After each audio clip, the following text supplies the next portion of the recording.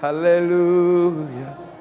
Hallelujah. Lord, I love you so. Hallelujah. Blessed is your name, Most High.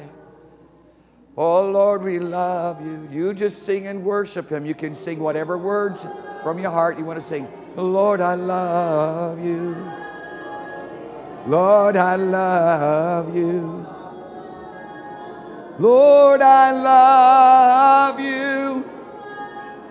Lord, I worship your holy name. Hallelujah. Lord, I love you. Lord, I love you. Lord, I love you. Lord, I love you. Oh, Lord, I love you. Lord, I worship you. Lord, I love you. Let's just sing this love song here. Lord, I love you. Lord, I worship you. Lord, I love you. Hallelujah. Lord, I worship you. Oh, Lord, I love you. Lord, I worship you. Lord, I love you for everything you've done, for everything you've done.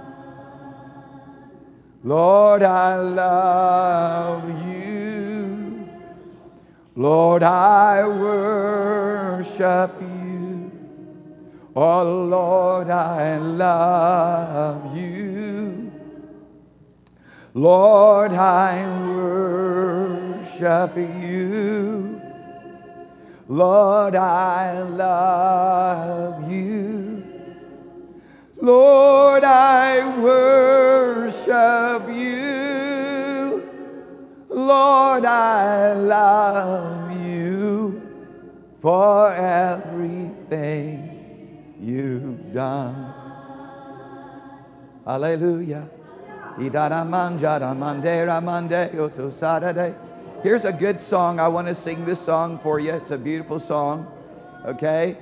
And I want you to just, you may have never heard it before, but I'm going to assure you, you can join right in with me as I sing. La da na manjera ningala da nindera. Jele membra nandero mondoya. Jebebe nambero riosuto. Hibra bava nambendo namberan. Zere bebe endara saradera. Yora be prima mando sarana mendera mane. Gera manande manandera. Jalanandela bera mandera dodora. Hallelujah.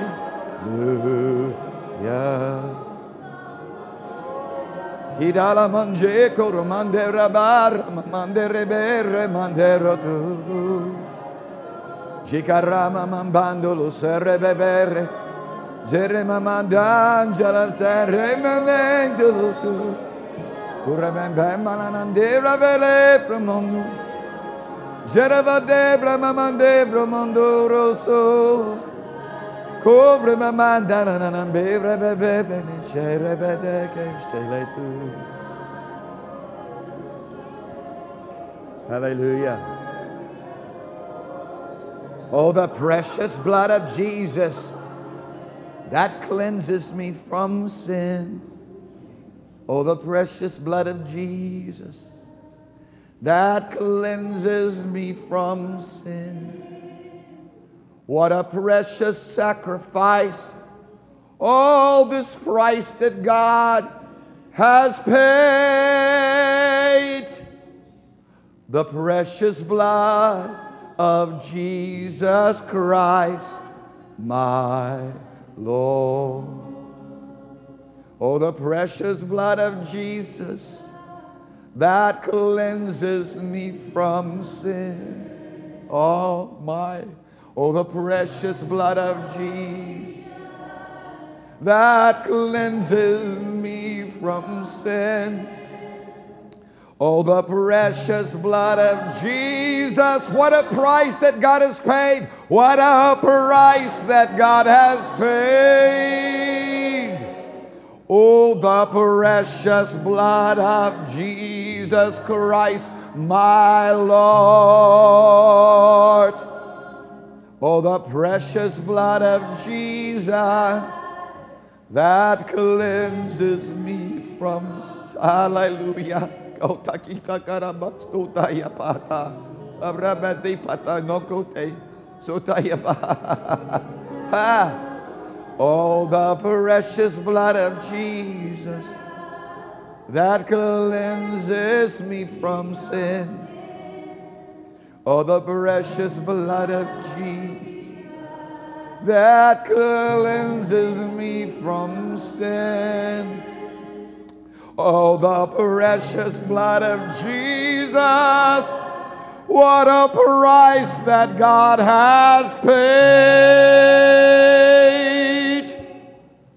Oh, the precious blood of Jesus Christ, my Lord. Oh, the precious blood of Jesus Christ, my. Ya ya bo rabakita yoto yana mandiaro.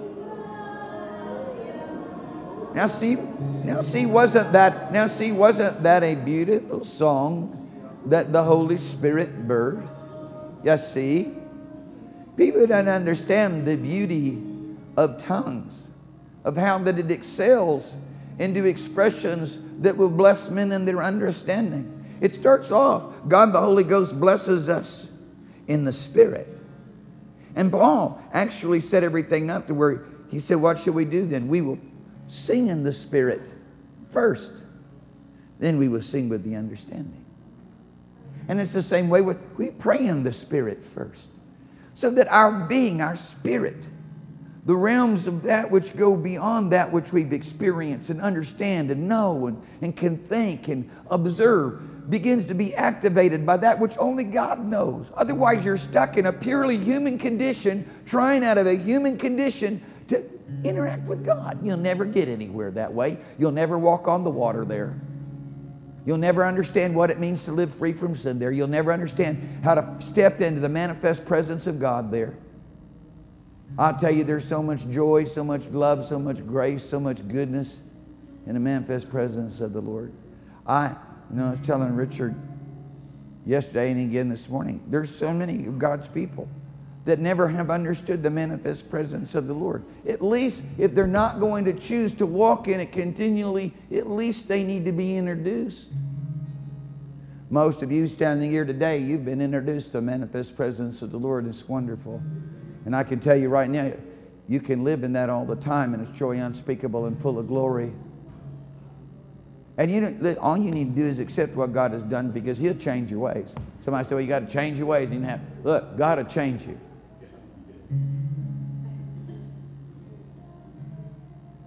Oh, the blood of Jesus Christ that cleanses me from sin. Oh, the blood of Jesus Christ that cleanses me from sin. Oh, the blood of Jesus Christ.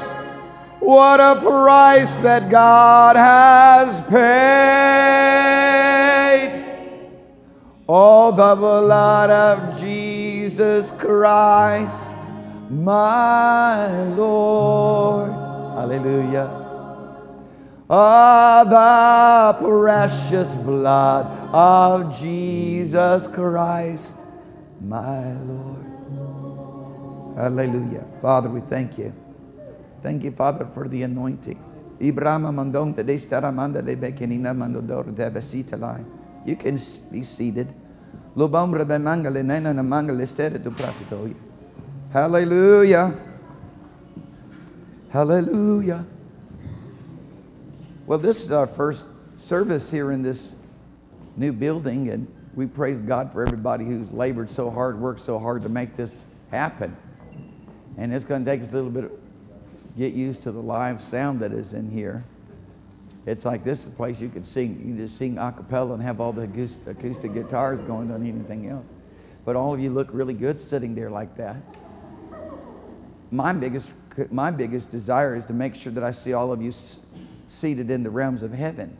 My biggest desire, hallelujah. I want, I, I want, I want you to be, I want you to be raptured in heaven right now. Somebody said, well, what do you believe about the rapture of the church? Somebody, I heard somebody say the other day, oh, rapture is not in the Bible. No, it is in the Bible. It's catching away. Catching away is all over the Bible. Somebody said, well, what do you believe about, you know, when we're going to go to heaven? I just said, well, listen, I'm in heaven right now. I've already come into the kingdom of the dear Son. I, have left my life that was in this world and I've stepped into a place where God the Father, through the working of the mercies of Jesus Christ, has translated me out of the kingdom of this world and the kingdom of dear Son. You know, if I could take everybody and have you spend a little time in China with me, you'd see a different witness, a different kind of people, because when they give their life to the Lord, they don't have another life. They don't have a job. They don't have an occupation. They just have Jesus. They, they left everything behind. Most of them are rural people anyways. And of course, when they hear the gospel preached, they hear go in all the world and preach the gospel, so they do that. They believe you're supposed to do that. They don't think you're supposed to sit around and think about it. And so everybody just leaves family and home, jobs, and they go everywhere, preach the gospel. And that's why so many people are being saved by the power of the gospel right now in Asia because there's so many of God's people that are responding to the voice of the Lord, not just sitting around thinking about it and arguing about what they believe and whatnot, but rather they're just doing it. And so we actually have going on right now, and of course, many of you have heard me say this again and again. We have right now going on one of the greatest revivals that have ever taken place on the planet, ever, since the, since the days of Jesus, happening right now in Asia. And I've said over and again to the Lord, Lord, I just want to stay there. I just, please let me stay in Asia. Please let me stay in the Middle East. And the Lord uh, has been very clear to me over and again, no, I'm, I, am we're going to do something in, we're going to do something together in America. And, and hallelujah. And then praise God. I mean, Richard saw the, the map there yesterday. He said, yeah. And he just starts going off prophesying. Said, you know what? We need to have, a, we need to have it transparent so that in the back you can have little lights on where everybody's being sent. And, and I can just see the whole map completely lit up. And the beautiful thing of it is, is we don't see ourselves doing it by ourselves because we got a whole company of people that we with. Huh, Richard? We got a, it's crazy, we got a mighty army already. People, the people that God has set in place who know how to function in the anointing of the Holy Ghost. Hallelujah. Who sold out to God. Hallelujah. Who just want the manifest presence. I don't care nothing about nothing else. With total abandonment, just going after God. And so now, Father's got people blowing the trumpet to rally the troops. And as people will hear, they'll even, they'll hear the joyful sound from heaven. They'll even forsake everything that belongs to their life in this world and come follow Jesus. Hallelujah. And following him in this realms of this glory and this realms of this anointing, you'll find the best life that there is. You find abundant life. It's unending life. It's immeasurable life. Hallelujah. And the beautiful thing of it is, it doesn't matter who you are, it doesn't matter how much you know, how little you know. God invites everybody to come regardless of, of what's going on in your past and come step in and have it right now. You don't have to wait till later. Some people sit in the shadows. Don't be Cain. Don't be Cain. Cain had as much opportunity as anybody else. Cain got stuck in his disappointment. He got stuck in his problem. He got stuck in his, in his own issues. And he went and simply do what the Lord told him to do. So there's a sacrifice offer it and you're going to be accepted too when you get accepted. And today we, the sacrifice has been off, offered. But you and I, we have to take up the sacrifice. The sacrifice Jesus Christ has been offered. But you and I have to take up that sacrifice and come boldly into this realm of divine glory. I mean, come boldly into the realm of all the fullness of God. I like standing right here. It reminds me of where I live. You know, I'm, I'm just like living in the light. Hallelujah. They said they were going to cover up. They said they're going to cover up the light. I said, you're not going to cover up the light. Put more light up there. If anything, don't cover it up. Love the light. I'm not, I'm not into darkness. I'm not into shadows. Nothing like that, you know. We just want to walk in the light as He's in the light. Because if you walk in the light as He's in the light, then you have fellowship with everybody like us. Hallelujah. And the blood of Jesus Christ continually cleanses us from all sin. Thank you, Jesus.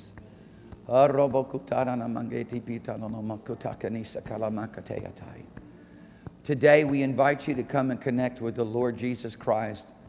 We invite you to come into this wonderful, glorious presence that He's given to everybody who's willing to receive. What a beautiful, what a wonderful realm.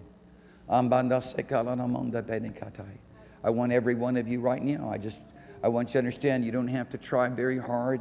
You didn't have to work at it. You didn't have to struggle. All you have to do is just receive. All you have to do is a sincere and honest heart to say, God, I'm just hungry for you. I want you. Shut everything else out. Push everything aside. All the thoughts, all the accusation, all the lies, all the torment, all the sickness, all the disease. Before Richard comes, I'm going to just spend just a few minutes just talking to you about the blessing of the Lord and having the blessing of the Lord on your life. And I want you to understand that from Genesis chapter 1 all the way through to Revelation 22, we, are, we hear about the blessing of God. Father has put his blessing upon our lives in such a way that I want to ultimately conclude real quickly with how he put his blessings on our life. But number, number one, I want to go back and I want just want to highlight how he blessed the earth. He blessed it and it brought forth all kinds of good things and fruitful things. And he, he blessed the womb of, of Eve and she brought forth a, a child that had never been created before and at that moment was created and created to live eternally. And, and then we see the whole progression that blessing come to Abraham and Abraham was blessed of the Lord in such a way that he was blessed in, in, in every dimension, first and foremost in his relationship with the Father, where he can interact with God in a way that just makes me jealous and covetous for that. He was, God blessed him in every dimension of his life. He blessed him with, with riches. He blessed him with wealth. He, he blessed him with, as I said, more importantly, a position in the realms of divine glory, then a position with men. All the blessing of the Lord. He, it's not something he got by his own strength or he got by his own power.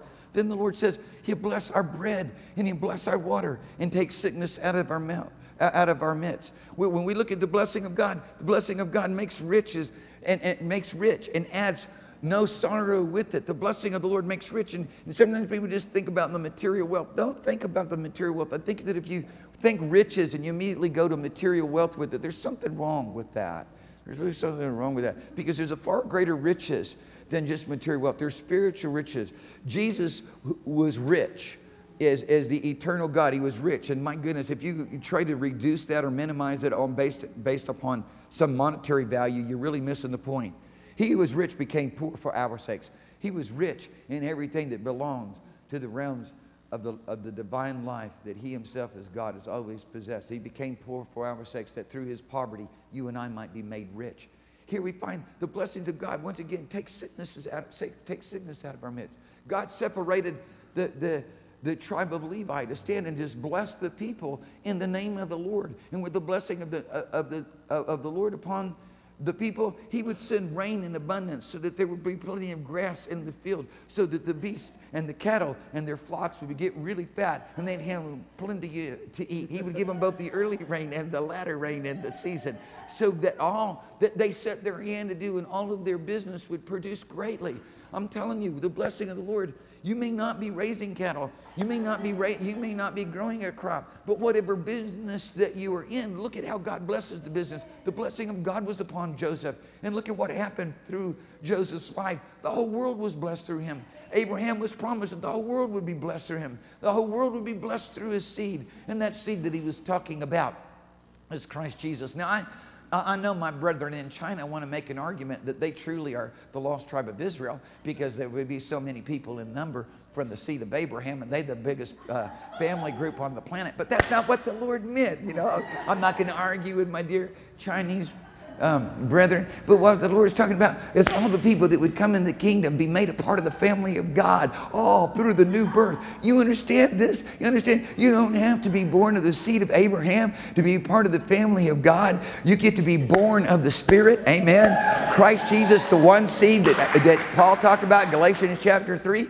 It doesn't exclude anybody. Somebody said, ah, oh, you're preaching replacement theology. Replacement, get out of here with those big words. Listen, let me tell you right now, we ain't replacing nobody. We're just including everyone. God has taken away all the difference between everyone. He's brought everybody together in Christ Jesus so that we could all be blessed as one family, standing right now as the family of God, our Heavenly Father, God being our God and being our Father, Jesus, our elder brother, Holy Spirit, our companion. I'm not making stuff up as I go. This isn't some this isn't something I downloaded from the internet so I could have a sermon to preach to you. I'm telling you about what's going out, going on inside my life. Hallelujah. And God what's going on inside your life. It's what He's ordained. It's what He's elected. It's what He chose. He, he's got He's given such a blessing. He said to us, I ordained you and called you to such blessing that whatever you ask the Father in my name, He will do it. What a relationship. We want the whole world to know about this kind of power with God. Woohoo! Thank you, Lord Jesus. Take sickness out of our midst. Blesses all that we do, everything that we put our hand to, so that it prosper over and again, we see what happens when the blessing of the Lord comes when a womb is barren. It can be an Eli who's missed out on God, who's blind and overweight, who hasn't disciplined his son. But when he releases the blessing to someone, life is formed in a barren womb as it happened there with Hannah. I mean, the blessing of God. Anybody who has the blessing of God and the authority to bless, my goodness, what rich people we become what, what, what desirable people we become. What a, what a blessing to the earth we become. When we bless and curse not, if there's anything that God's people need to grab a hold of, is they got to stop cursing themselves by cursing other people because all it does is put a curse on you. you God's in, God has ordained you to inherit a blessing. So bless and curse not so that you can inherit it. Keep your tongue from evil, your lips to speak no guile. Start walking around loving on people and talking good about people you don't have any good thing to say, don't say nothing at all. In Jesus' mighty name. It's the only way to live. That's who we are. We're called to bless in the name of the Lord. Not talk about the problems that we think we see because they probably aren't real anyway. It's just make believe, just some lying accusation of Satan to discourage you, disappoint you, separate you, get you over into strife and envy and hatred. Don't go there. Come and live over here in this blessing where the joy and the love. Hallelujah where the fountain of life. Hallelujah. Hallelujah. There's one thing that I don't like about this small room. If, we, if, we, if the anointing comes upon us and we're going to go running, there's not a big enough lap. But when we get out there, it's a much bigger place out there. And there, it's about, we can handle about 2,000 people out there. Somebody said, How are you going to do that? Let's talk about the program. I'm going to tell you about the program. Here's the program. You touch heaven, let heaven touch you. Listen what's going to happen. You touch heaven, let heaven touch you. Let the power of God be released through your life to where signs, wonders, and miracles of manifest presence of Jesus can be seen in your life and upon your life in a greater way. And I guarantee you that this whole region is going to be saved. Listen, there, we live in perilous times in so many different ways, but I can tell you the blessing of God keeps me safe. Those that abide in the secret place of the Almighty those that dwell in the presence of the Lord. I'm telling you, the safety, the shelter that is there, you, have, you fear nothing. Fear, we fear nothing because of the blessing of the Lord. And then I'm going to bring it to this and, and, and then close it and turn it over to here to my dear brother Richard. And the Lord says in Ephesians chapter 1, He says, He has blessed us with all spiritual, all spiritual blessings. See, somebody said, somebody don't like some people that, that have a problem with their finances being blessed, and I can't imagine why. That doesn't make any sense. Why would you, you know, you, you want, well, you don't want your finances blessed. Well, why, you shouldn't want a promotion from your, from your boss ever again. Huh? Matter of fact, you should just go ahead and work for free. You know what I'm saying? I mean, you know, you don't need to eat, you don't need nothing, you know, you don't need no clothes, you don't need no place to stay. So that's all nonsense. We know that. We know that we, there needs to be a supply. And then if you're only thinking about yourself, you're only thinking about your own personal need, then you just need a little bit. But when you've got a heavenly vision and you're thinking about the need of the whole world and you're thinking about literally the hundreds of millions of orphans, you're thinking about the hundreds, uh, uh, the, the, the, the billions or at least the hundreds of millions of people who've never heard the, the gospel of the Lord Jesus Christ, then you need a much bigger budget. And when he says he's blessed us with all spiritual blessings, spiritual is not confined to something that that you would, you would think of in terms of religious ideology. Spiritual is every dimension of our life. What happened to Abraham was a spiritual blessing which resulted in him having such wealth and greatness and purpose and place and position. God gives us purpose, He gives us place, He gives us position, He gives to us the ability to impact other people's lives. This is what Father has for us the spiritual blessings, all spiritual, not some. I'm going to give you just one limited measure. I'm going to give you all spiritual blessings. Spiritual blessings will result in your body learning how to live where your body's not sick and diseased. Spiritual blessings will result in you learning to have all provision to supply all that you have need of right out of the treasure chest of His riches and glory. I said right out of the treasure chest, right out of the treasure chest of His riches and glory. Now, let me tell you how hard this is. Let me tell you how hard this is. This is all you have to do is with abandonment, simply believe God and obey Him.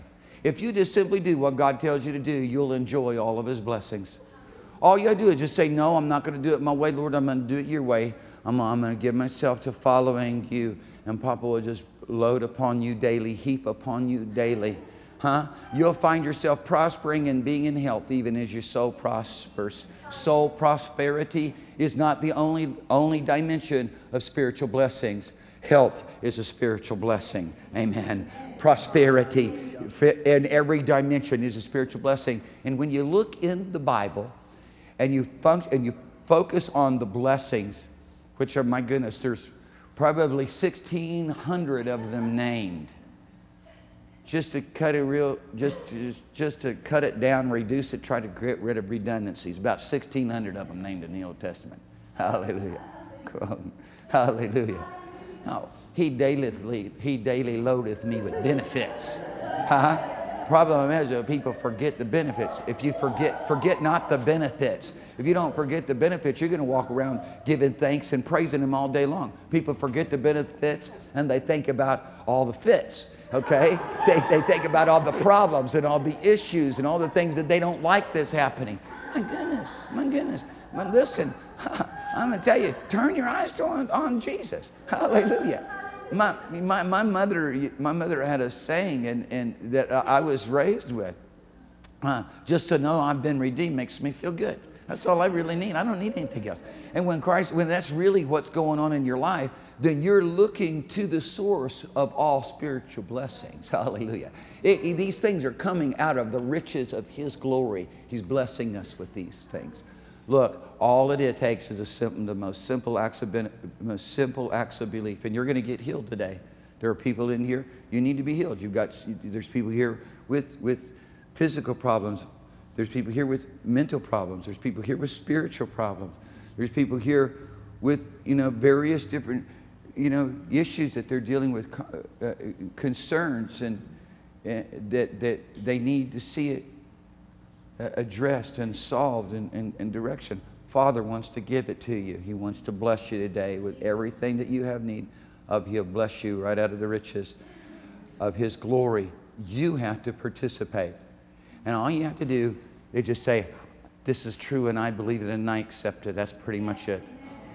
I accept what you're doing for me. I just think. And somebody said, How do I do that? How do I really do that? You begin to give thanks out of your heart. It's not just some rote thing that you would say with your mouth. Oh, I believe it. I receive it. I accept it. Whatever. You know, it's with thanksgiving. Lord, you're amazing. I really do believe this. And so, because I really do believe it, it's more than just what I'm saying with my mouth. It's more than just some, you know, repeat after me. The, the, the things within the, the heart in your life begin to rise up and you begin to become so blessed in all that Father does for you and continually does for you. So I just want you to raise your hands towards heaven right now. And I want you to let Papa just touch you. I want you to let the Spirit of the Lord touch you. I want you to let the anointing of the Holy Ghost touch you so that you can receive all that you have. And hallelujah. And just by the simple willingness to lift your hands towards heaven and believe, that's all it takes. That's about it. That's about all you need to do right there.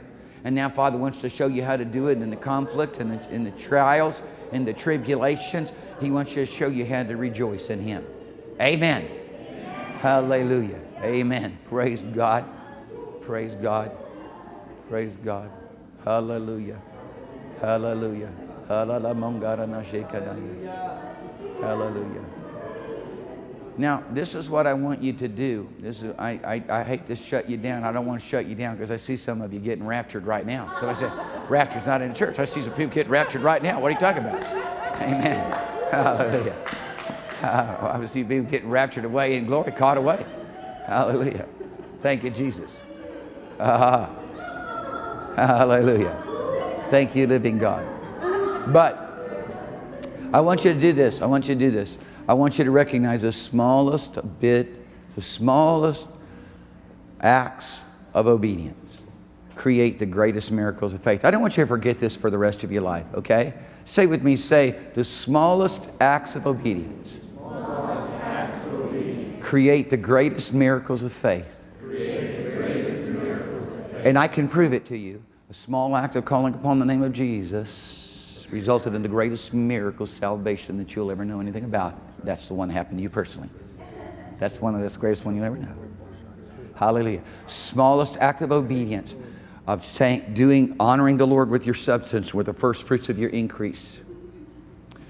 When, when, when God said to Jacob, I will bless you, I will go with you, and I will bless you, the, Jacob's response said, was this Seeing that you're going to do this for me, I'm going to give you a tenth of everything that you give to me. Why? Fundamentally, because it was an act of worship, a recognition that this is what God is doing, that a supernatural event was taking place, not by his own strength of his own arm, not by his own power, not by his own wit, but by a supernatural work of God's divine grace. And so also that he himself would not forget. And we want this same thing to happen to you because the Lord said that if you will give generously, if you will sow generously by your giving, and my goodness, I, I, thank the Lord for the people who generously give in this place and what God will do and continue to do to multiply. He says, I will generously give to you so that you can generously reap. And He goes, brings it to this level so that you will have all sufficiency in all things. That's why I know that if the Lord tells me to go do a crusade somewhere, no problem, because He's promised all sufficiency to me. I'll have everything I need, of, need to go and do whatever it is He tells me go and do. Hallelujah. When we walked onto this property, you know, the, you know, and the price tag was $14 million, reduced price, huh? And I didn't, I didn't even, I was just happy. I was just glad to walk on the property because the fact of it is, it isn't even my bill, it's his bill. I didn't even my life, it's his life. I'm hidden in him. Hallelujah. It's de frite. What a wonderful, now being found in Christ Jesus. Now being found in him. See, I am now found in him. I know people rush, they rush right through and say, now being found in him, not having our own righteousness, which is by the law. No, I don't even get that far. I'm just stuck on it. I'm found in him. You can only find me in Jesus. Go looking for me. Go look for me. You can't find me till you find Jesus because I'm found in him. Amen. And, and what a place to live. We pray that you will live in that for the rest of your life. You stop living your own life, start living his life. Amen. Amen. So I want you to just begin to th- pray about consider what you're going to sow into the kingdom today, what you're going to be willing to honor the Lord with in terms of your substance, in terms of your offering.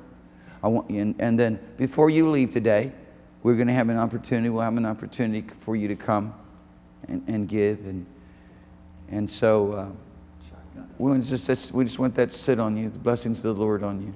Think about how much Father gave and how He continues to give and how much He's going to continue to give you. Amen. Hallelujah. Get involved in the giving in Jesus' mighty name. And then I want to make sure that everybody understands Richard will be back here tonight as well. And so, and go get someone, invite a friend. Somebody needs healing. Someone needs a miracle salvation. Whatever kind of miracle they need, because the miracle worker is here. Christ Jesus is here in the place. Amen. Amen. Richard, do you want do you want the lapel man or do you want the mic? I take the mic okay. They don't. It's kind of weird because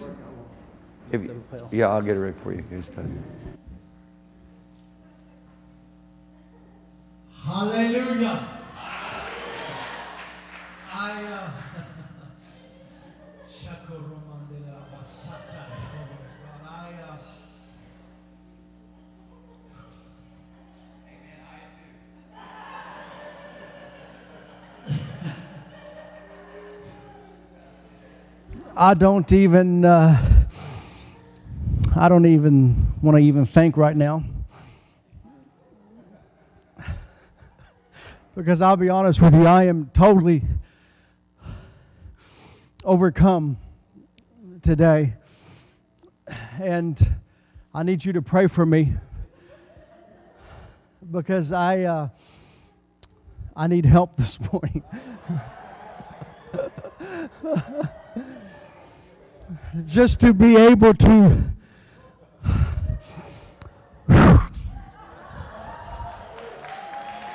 Ah! That's what I feel like. Just to be able to get out what's in me. and what I feel that God has to reveal to you and say to you today. And, you know, the thing that I'm so grateful of is that there's no stinking clock that's here that's bonding me and has me in chains and fetters, telling me how much time I have left. Thank God that the place has been, the ground has been tilled and the work's been done by your pastor and by you guys and the Holy Ghost.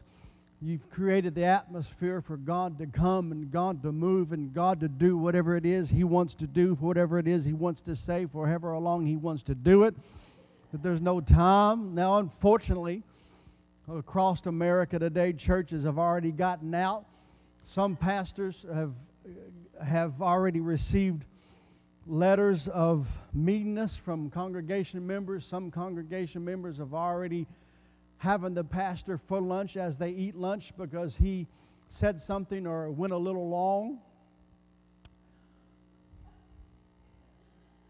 But thank God that's not here in San Diego, California, the abiding place. Amen.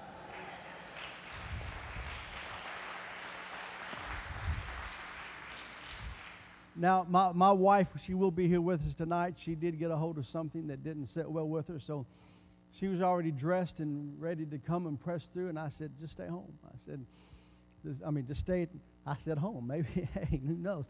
I said, just stay, just stay at the hotel and uh, we'll see you tonight. And uh, hallelujah. the Lord is good. Now, I, I, I want to tell you right now that I so appreciate your pastors and, and Pastor Mark and uh, Sister Ann, Pastor Ann. I, you know, every time I every time I think of them, I think of you know Acts, the book of Acts, the fourth chapter, when Peter and John, you know, they after they got out of prison, they they had they had a place to go. And one thing I do know that you know we're not just friends in the natural, but we're friends in the spirit. And I honestly mean that I'd do anything for this couple. And I, I, I know that if if I ever need somebody to pray, I, I know that I have two friends here in San Diego, California that know how to get out of heaven. Amen. And know how to how to move things in the spirit and and you need friendships like that. You need people in your life that, that are going to encourage you, that are going to, that when you leave their presence, man, your faith is, uh, I mean, it's exploding. That, man, on the inside of you, you're exploding. That when you leave their presence, man, you're, you're even more in love with Jesus. You're even more hungry for the things of God than when you first came into their presence. Amen? I mean, that's what we're supposed to do. I mean, the, we're supposed to encourage one another. Amen? Not, not, not, not, listen, not from mental assent, not from our head, not from our carnal thinking, but from our spirit, because we have something alive on the inside of us that God Himself has birthed on the inside of us. And I mean this morning, I need your help because I have a lot of things going over on, on the inside of me, and, and God's going to get it out and you're going to leave this place changed. And I can promise you this it's going to be very hard for you to, uh, today and tonight. It's going to be very hard for you to leave sick. It's going to be very hard, very hard for you to leave depressed. It's going to be very hard for you to leave here without something from heaven. I'm telling you something right now. You're just going to have to fight it with everything on the inside of you. But I know that's not going to happen. Amen. But I woke up, told Pastor Mark this morning that I woke up, you know, first off, when I came on this property after he picked us up from the airport, and uh, whew, as I came on the property, I immediately felt like I was wrapped. You know, John, you know, John on the Isle of Patmos, the Bible says that he was in the Spirit on the Lord's day. The Amplified says he was wrapped in the Spirit. I, I literally felt like I was wrapped. I was wrapped in the presence of the Lord here as we as we uh, took the tour through through this property and and I, I, was just really overcome with just God's goodness and His greatness and I, I tell you I I, I just hallelujah. I, I, I know that there's, there's, there's, there's so much that really, if you used to even be told what the Lord wanted to do, uh, what, he's, what the Lord's really going to do, you, wouldn't be able to contain it yet. You wouldn't be able to, you wouldn't have no place in your mind to put it. That's why you're just going to have here, we see a little, we hear a little, amen. We, we, we see in part, amen. So you're just going to be able to get things in part because I promise you it's bigger than you. I promise you it's bigger than anything that you can even conceive in your head because you have to understand God is big. He is a big God. And, and, and, and I was just overcome with, with His presence and, and with the joy of the Lord and, and His faithfulness and His goodness and, and His mercy. And I woke up this morning and I heard these words I'm good. I heard these words. No, the Lord's speaking to me this morning. I heard these words, these words that I'm good. I'm great, and I'm faithful, and I'm glory. And you have to understand that He's all that and a whole bunch more, but the Lord is good. The Lord is merciful. He is faithful.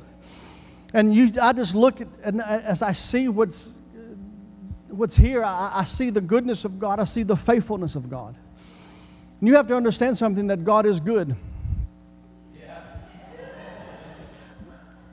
You really don't understand it because if you really understood the one you call Lord, the one you call Father, if you really understood what I just said to you, you would not be able to sit there and just nod your head like a bobblehead. Yes. No, no. God is good.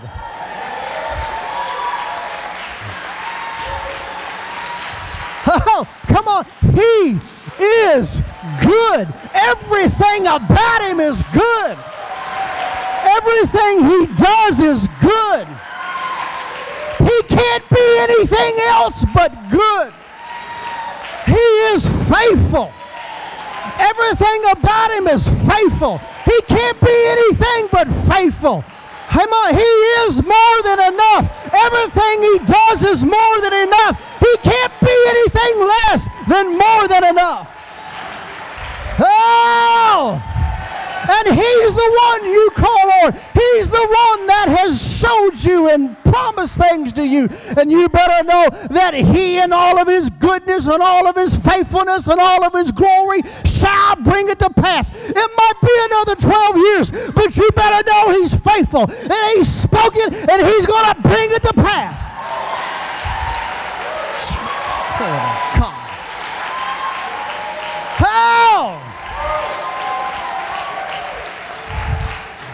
I told you it's going to be very hard for you to stay bound up in here this morning. I'm from. I haven't even got to my notes yet, even if I even do, but. but I had a lot of things going over in me and a lot of scriptures going over in me, and I. Hallelujah.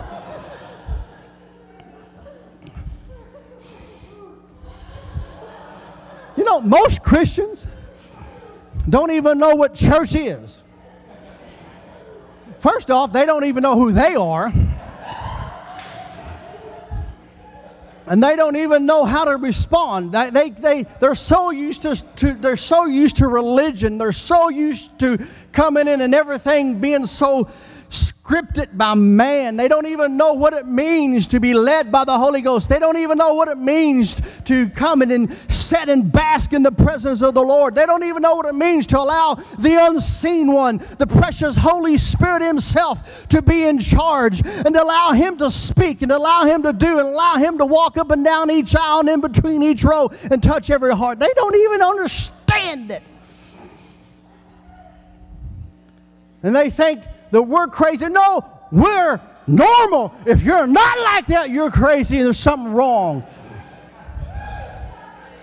Because we are spiritual people. We are people that listen, the moment we gave our life to Jesus, the moment we made Him Lord, we died. Your life doesn't belong to you, your life belongs to Him. Why would you even want to be in control of your life anyway? You're so limited.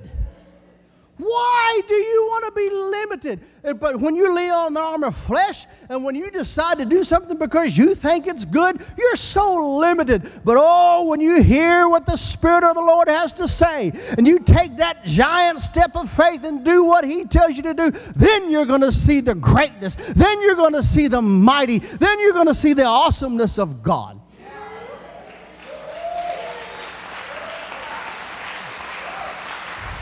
Well, you know, Brother Richard, I just got to have all my ducks in a row before I do it. Well, you're never going to do anything then.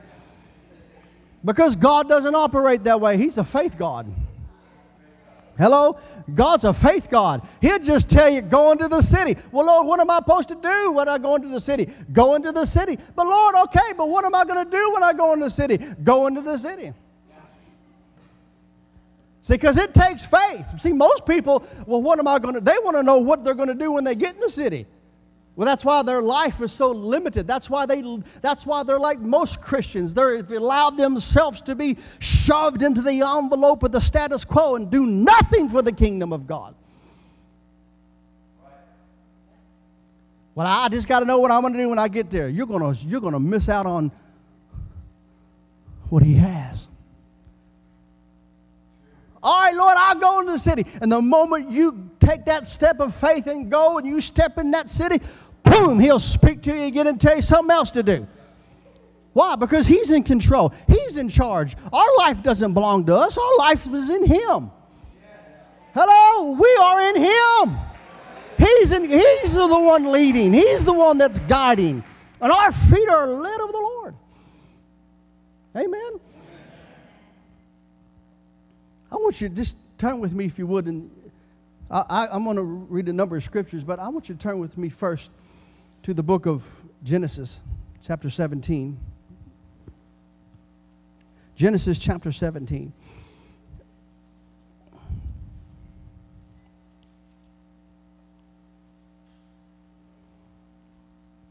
Hallelujah. Shokorabandida frabashista. Sharovasita.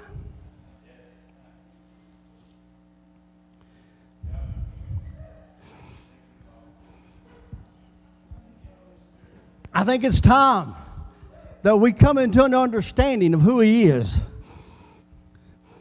And as the church, who we are and what, we, what it is that we're to do.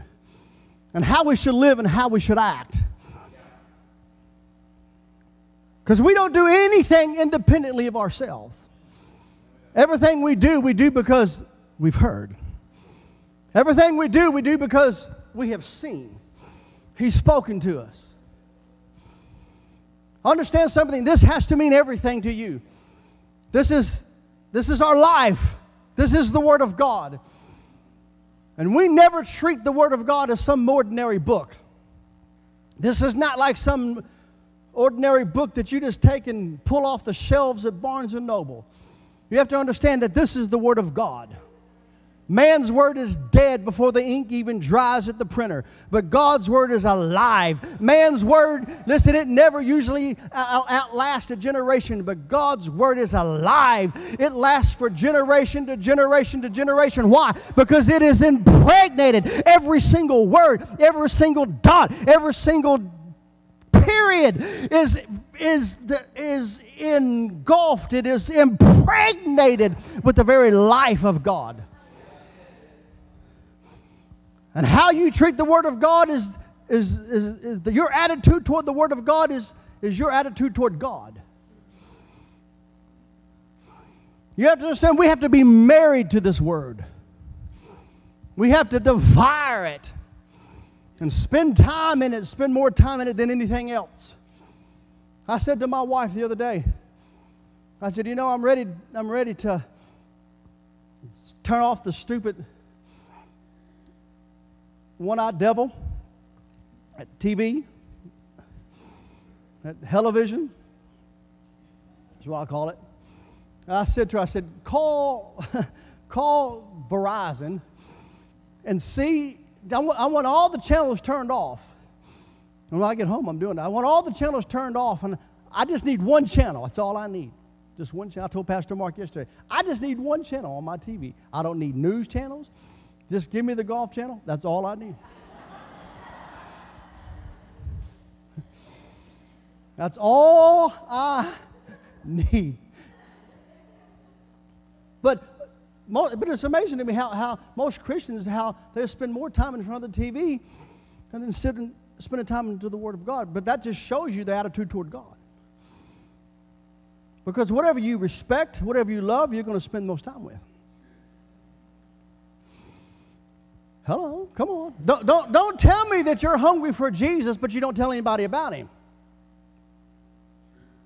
Because if you tell me you're hungry for Jesus, but yet you don't tell anybody about him, then I'm, I promise you, I will have to question your hunger. I'll have to question your passion. Because when you're passionate about something, you talk about it all the time. I tell Pastor Mark and I, and, and my wife and that's all we've been talking about is the things of God. Oh, every once in a while we'll talk about, you know, golf or what. I got to get that in sometimes, but I mean, or, but I mean, we're talking about the things of God. Why? Because is there anything else?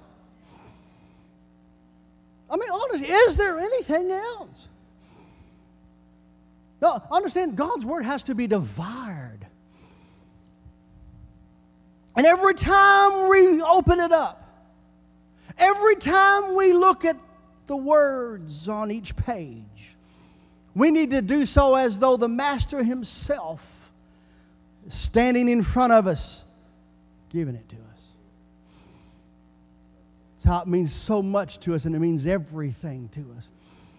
I was telling Pastor Mark and Ann last night about I, put something on Facebook, uh, it's been a few months ago, about the uh, church in China. Uh, they, they, they was delivered some Bibles, and there was this, it was this suitcase, and they opened it up, and, and it was full of Bibles wrapped, and they, I mean, they, this, they swarmed to the suitcase and grabbing the Bibles, and, and, and they're unwrapping them, and they're, they're holding it to their hearts like this, and they're weeping.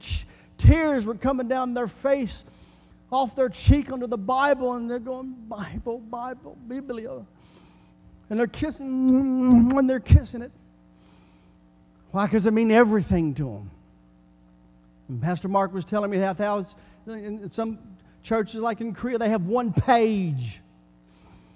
They have one page. Here in America, unfortunately, Bibles are used as decoration pieces. Matter of fact, in America, many Christians, their Christianity is the cross they have on their neck. And they treat God as some lucky charm. They treat God as though He's some genie in a bottle, He's some rabbit's foot. That they can live any way they want to live and do anything they want to do and act any way they want to act. And then, when they reap the consequences of it, cry out to Him. Then he comes because he's faithful and he's good, and he'll bring them through it, and then they'll go back. Now, understand something. I'm not a Christian because it's what I believe. I'm a Christian because it's just who I am. He's everything to me. Listen, I, I when, I, I, when I was growing up, I, I served the devil real. I was a good sinner. I served the devil really good. But I promise you, when I got saved, I made the decision, oh, I'm going to serve him the one who's more than enough, the one who created the devil. Amen. The one who's omnipresent, the one who's omnipotent. I'm going to serve him and I'm going to serve him with everything. But then I just happened to get baptized in the fire as well. Oh, and then that just took me to a whole new realm.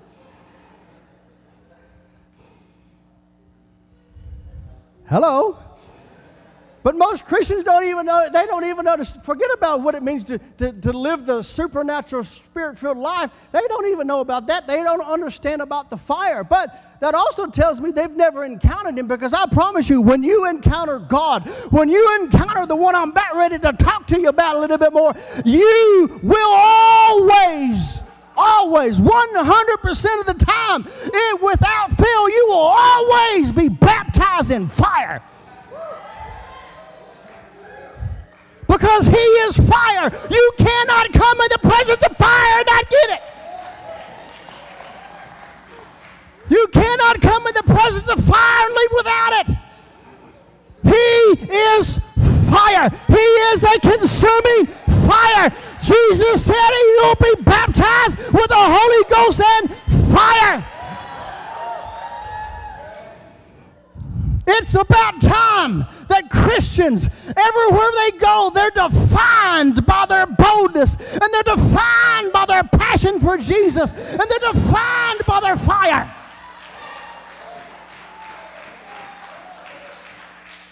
No, we're not defined by our compromise. We're defined by the fact that we're so in love with Him that we refuse to compromise unto death. Glory to God. I promise you, listen to me this morning. I promise you, when Moses went and stood in front of Pharaoh, I promise you that Pharaoh saw the fire of God not just on him, but to saw the fire of God in his eyes. Because you cannot come in the presence of God who is fire and not get it.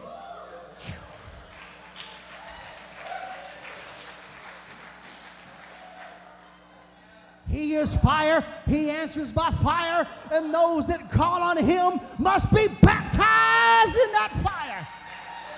And everywhere you go, that fire goes with you. That's why demons come out of people. That's why demons shout and scream.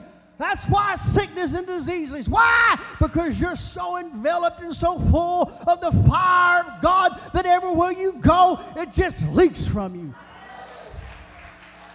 That's what it means to be a Christian.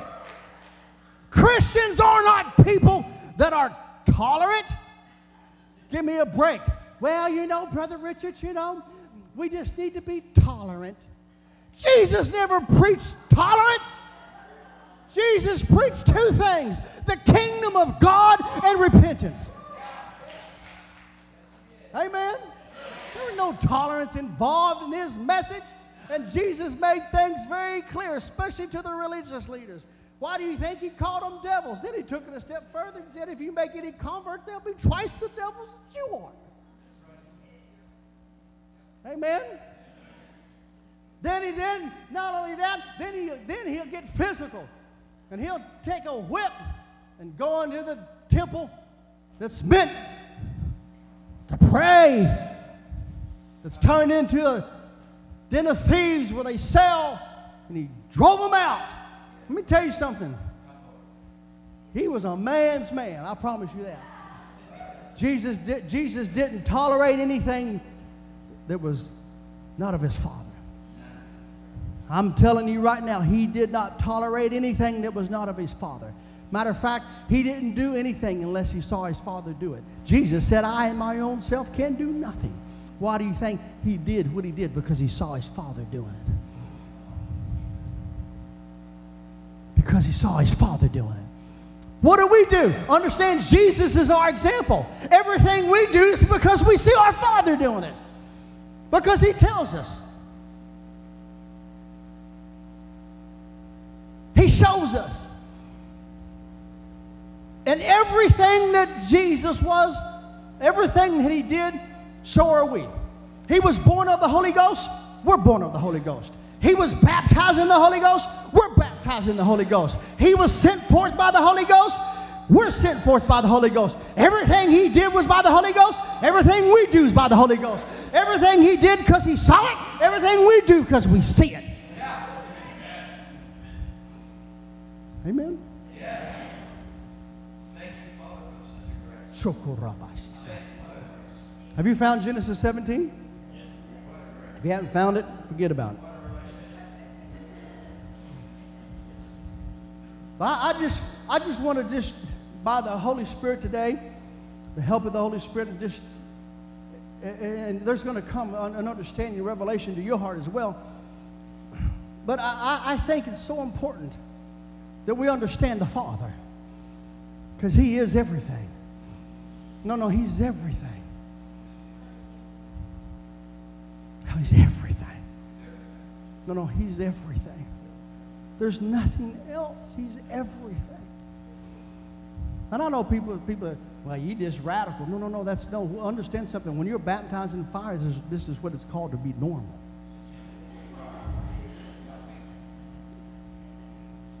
No, everywhere we go, lives should be changed. Everywhere we go, the world should see. Hey, these people are unlearned and ignorant. They've been with Jesus.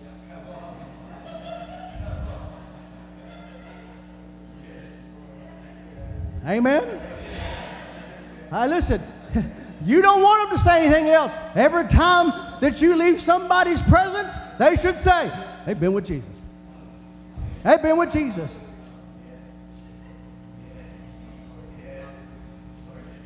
And not just because, we understand, it is not just because we talk about it, it's because who we are. Every fiber of our being is enwrapped, engulfed in Him. Every fiber of our being burns with the very fire of who He is because He's fire. Every fiber of our being burns with the fire of Pentecost. You hear it in our talk, you hear it in our prayer, you hear it in our conversation.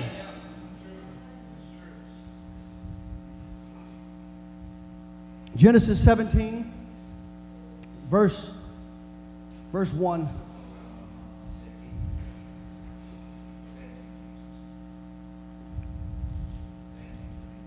And when Abram was 90 years old and nine, the Lord appeared to Abram and said unto him, I am the Almighty God.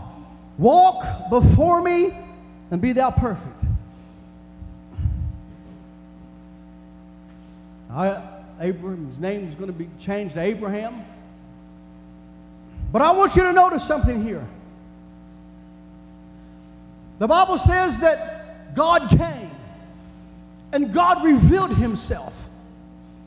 I hate it when I hear people say things like, you know, God's a mystery. You know, God's only a mystery if you don't know him. Now, how he's going to do things you might not understand might be a mystery. Things he's promised you because they're so much bigger than you. Dreams that He's given you, the plan for you, your life that He's shown you, you might not understand. It might be a mystery how He's going to get it and how He's going to bring it to pass because it's so huge. Now, how he brings it to pass might be a mystery, but God Himself is not a mystery to us. Understand something. We are in relationship with God.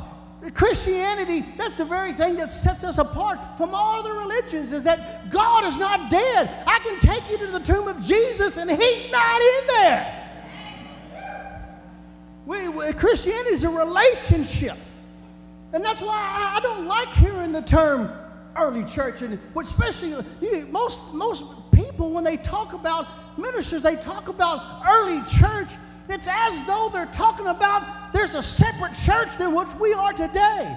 Understand something, we are the same church. We have not changed. We have the same Father. We have the same Holy Ghost. We have the same purpose. We have the same mission.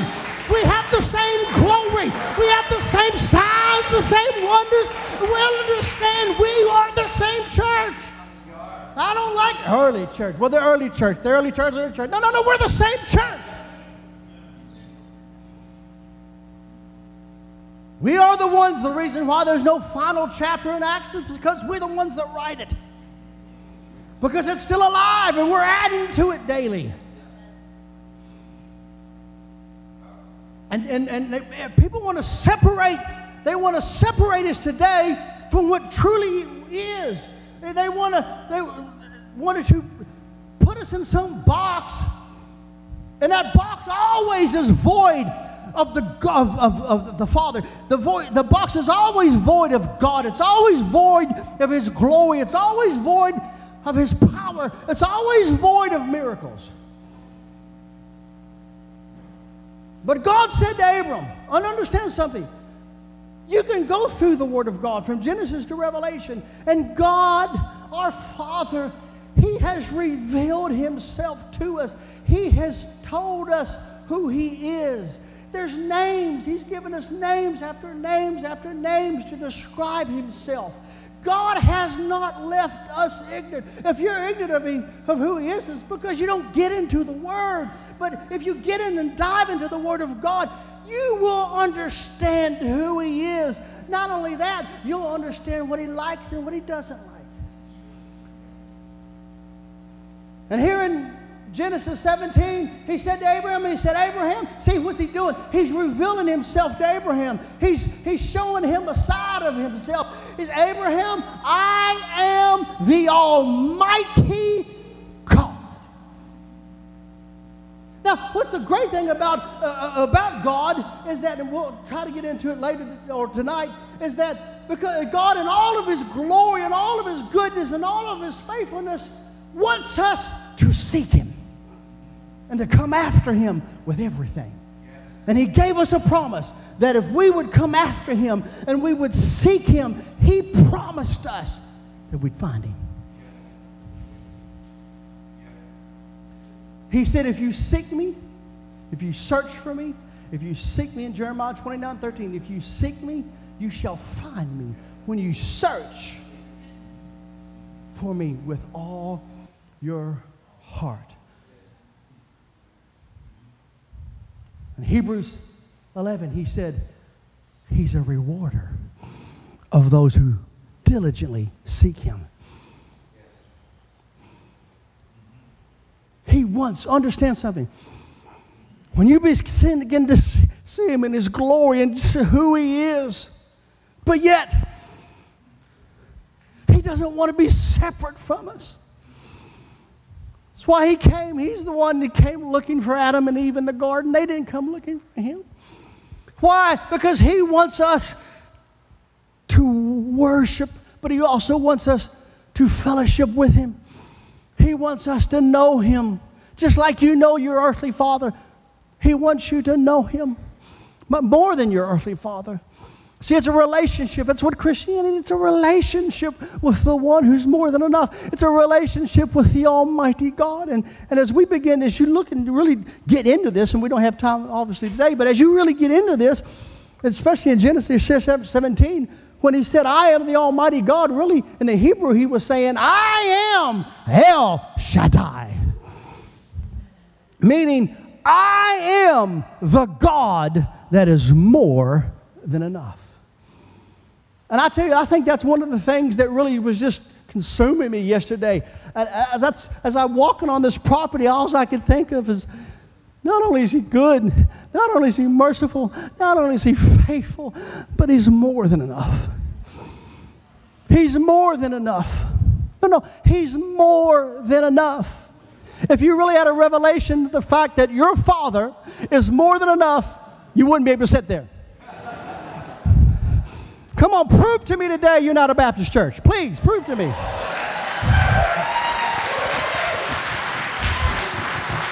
Hallelujah. now, I know you're not a Baptist church. I was just looking for reaction and I got it.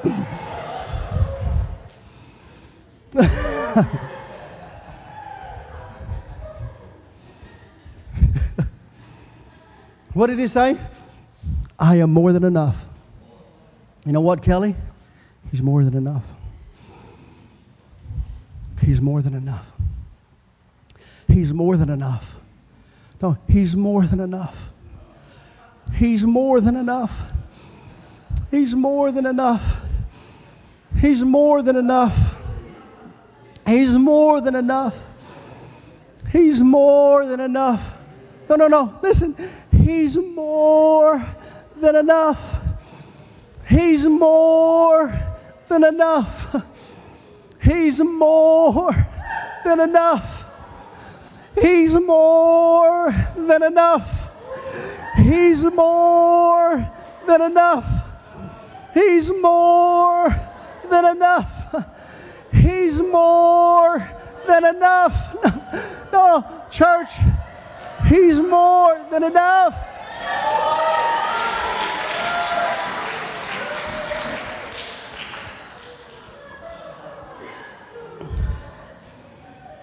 I promise you, when you allow yourself to totally be dependent upon the more, the one that's more than enough.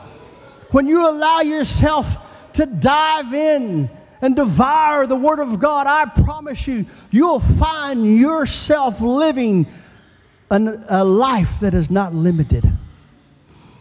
Many people live a life that's so limited.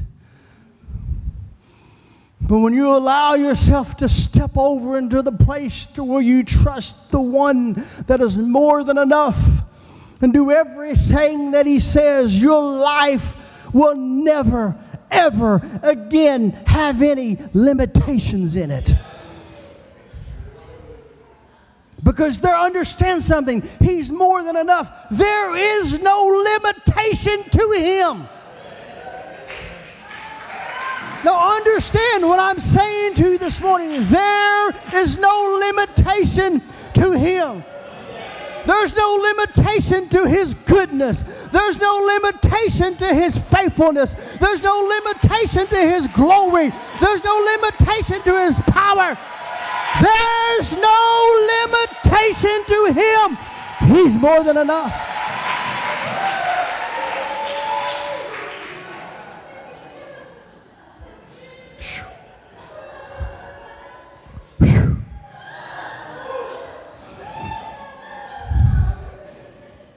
That's why when we hear the words cancer, what's that? Oh, there's no limitations to him. When we hear the words impossible, what's that? There's no limitation to him.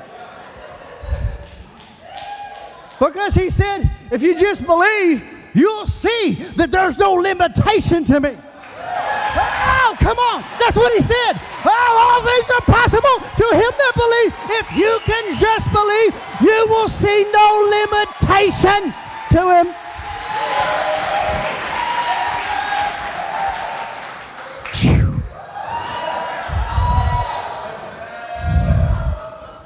That's another way to put all things are possible to him that believes. Well, here's another way to put it. If you just believe, you'll see the unlimitedness. You'll see that there's no limitation to God.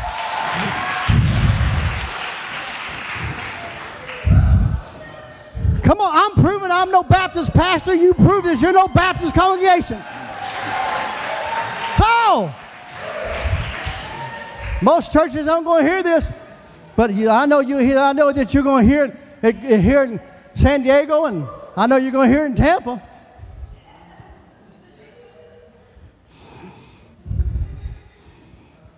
Think about it. Let me ask you a question Who created the heavens and the earth? God. My Father. See, understand. Um, let me take it a step a little further here. He's not really your God, He's your Father. You know, He's God to those who don't know Him.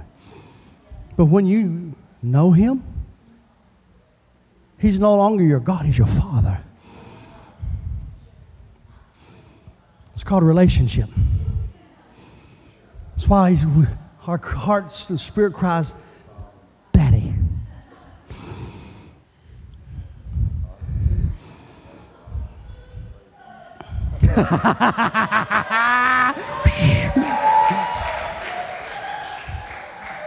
he's God, he's dad, he's dad, he's God. Praise God. and there's no limitations to him. Think about this. Didn't, did he not make the heavens and the earth? Well, understand, there's no limitations to the heavens, but then again, there's no limitations to the earth. Because whatever God creates, there's no limitation in it. Because He's the one that's more than enough. And if the one who's more than enough created and made it, then there cannot be any limitation. Do you know I saw something the other day? Actually, it's been it's last year sometime. But I saw something about the just the oceans. You know, my Bible says that God created the heavens, the earth, He created the sea and filled the sea, right? You know, I saw something just uh, was last year sometime that, and I actually forget, I wish I would have read it more and got more of the facts down, but they were, they were saying how many, and I forget the amount, but how many new species of fish they're finding in the ocean every month. The, they just found some new species of frog in Brazil. What am I saying? What am I saying this? How dare us think that we can explore and that we can already know everything that God has created and made? He created this universe, He created this earth. And there's more than enough. Listen, I promise you, he made the fruit, he made the banana. Listen, I promise you, there's more bananas that will fall to the ground and rot than men will ever be able to eat. What am I saying? I'm saying God created it, God made it. And whenever God does anything, there's always more than enough. Perfect example is this place.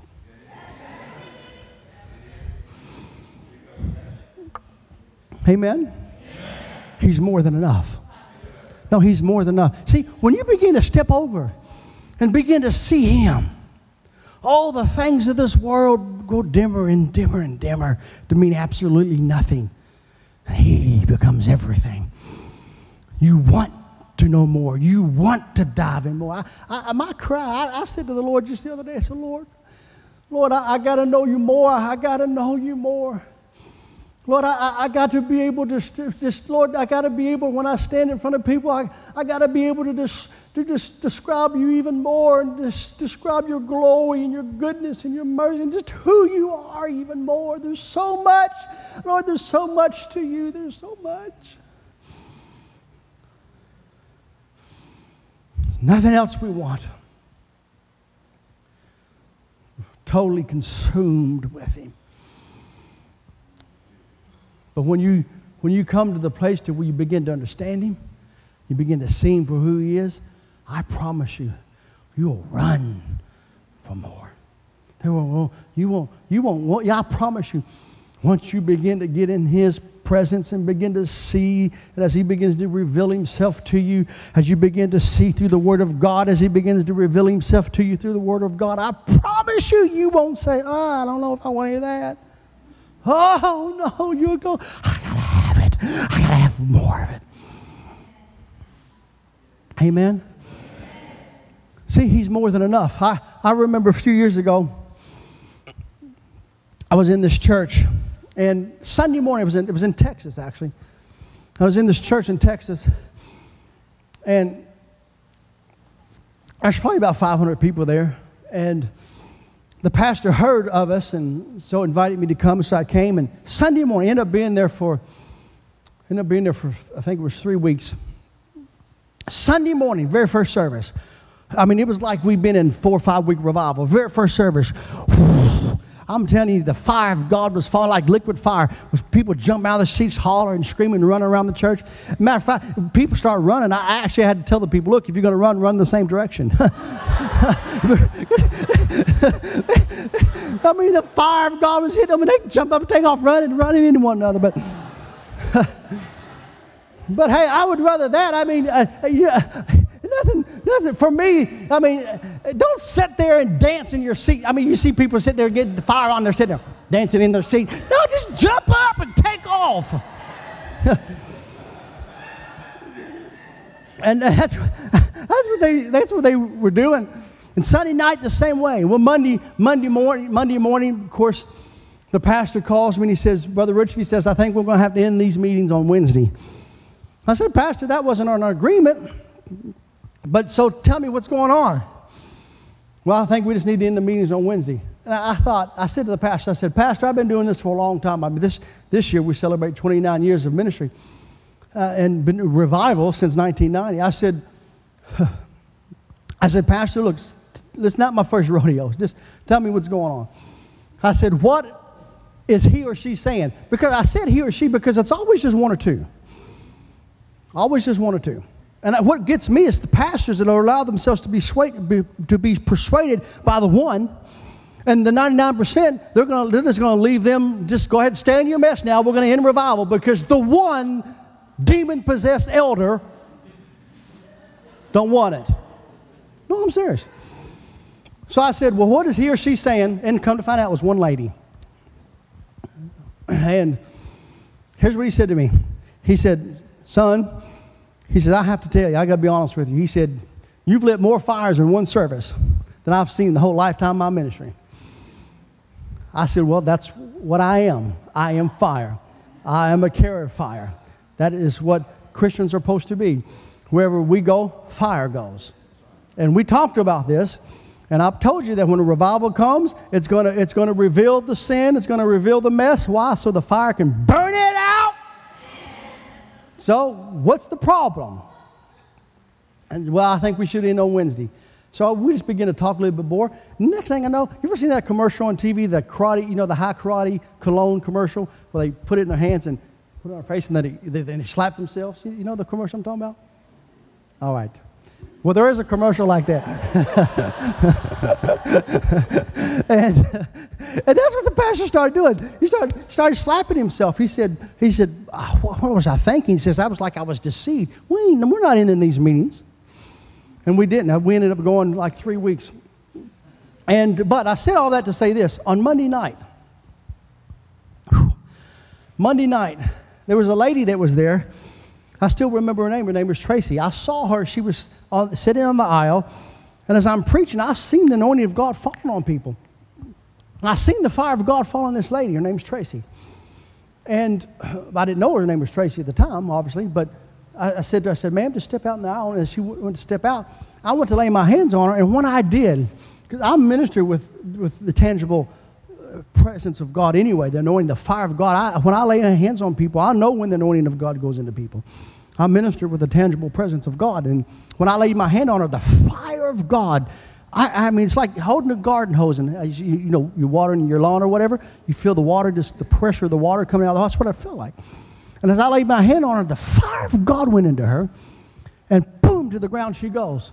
And she stuck to the floor. She stuck to the floor for over a half hour, which is not really, that's, that's not anything unusual. We see that, I mean, on a regular basis. I mean, we had a lady in Kentucky in a trance. We, she went into a trance for four days. I mean, didn't move, didn't eat any food, didn't drink any water, anything for four days. And so you better be back tonight or I'm going to pray to hit you today. So you. And the Lord hears me always when I pray. And so this lady got so touched, Pastor Mark. And I didn't, and I just when I started praying for other people, and that was Monday night. Wednesday night, see, the enemy wanted to stop it. There's also a lady there in that meeting, her name was Kay. She had an incurable blood disease that the fire of God fell on her, and she just began to burn like fire. Fire of God fell on her, and she was instantly healed of her blood disease. I, matter of fact, I was in meetings in Houston. Kelly came up to those meetings. I was in meetings in Houston uh, last year, and they live in Houston. And, and she came to my meetings, and that was, that was been a number of years ago, and she's still healed to this day of an incurable blood disease. But this lady came back on Wednesday night, and uh, the, because the pastor, associate pastor said to me, Look, I know you get testimonies every night. He said, Have this, you need to have this lady testify. God, God gave her a miracle. So I had her come and testify, and she began to, and here's what she said. She said, I, I had cancer spread throughout my body. I was in stage four of cancer. The doctor had operated on her three times. The third time, he just, uh, as he opened her up, he sewed her back up, and he said, "There's nothing we can do for you. Spread into her bones, every her body." And matter of fact, the doctor, she told me this. The doctor said this to her because she had two kids, little, um, little kids. The doctor said to her, Go home and for the next two months, because you've got about two months to live, create memories for your kids to remember you by. That's what the doctor said to her. Well, that night, that Monday night, the fire of God fell on her. And that was Wednesday, she's testifying, but Wednesday during the day, she went to the doctor. And as she's in the do- waiting room, waiting for the doctor to come in, as soon as the doctor came in, the doctor looked at her and saw that something was different about her. See, they don't just know we're different because we talk, but they also know because they see. We're carriers of His glory.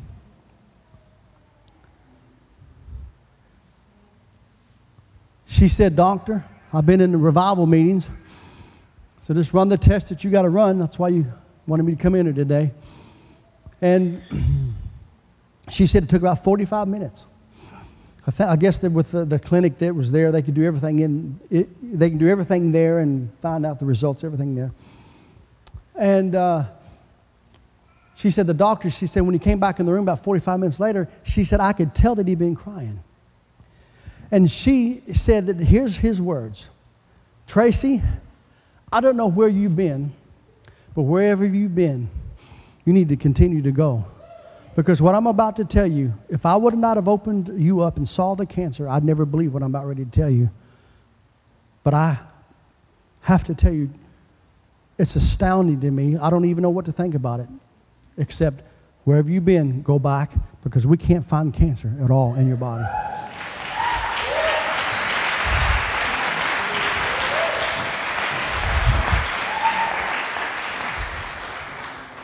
Then he said this.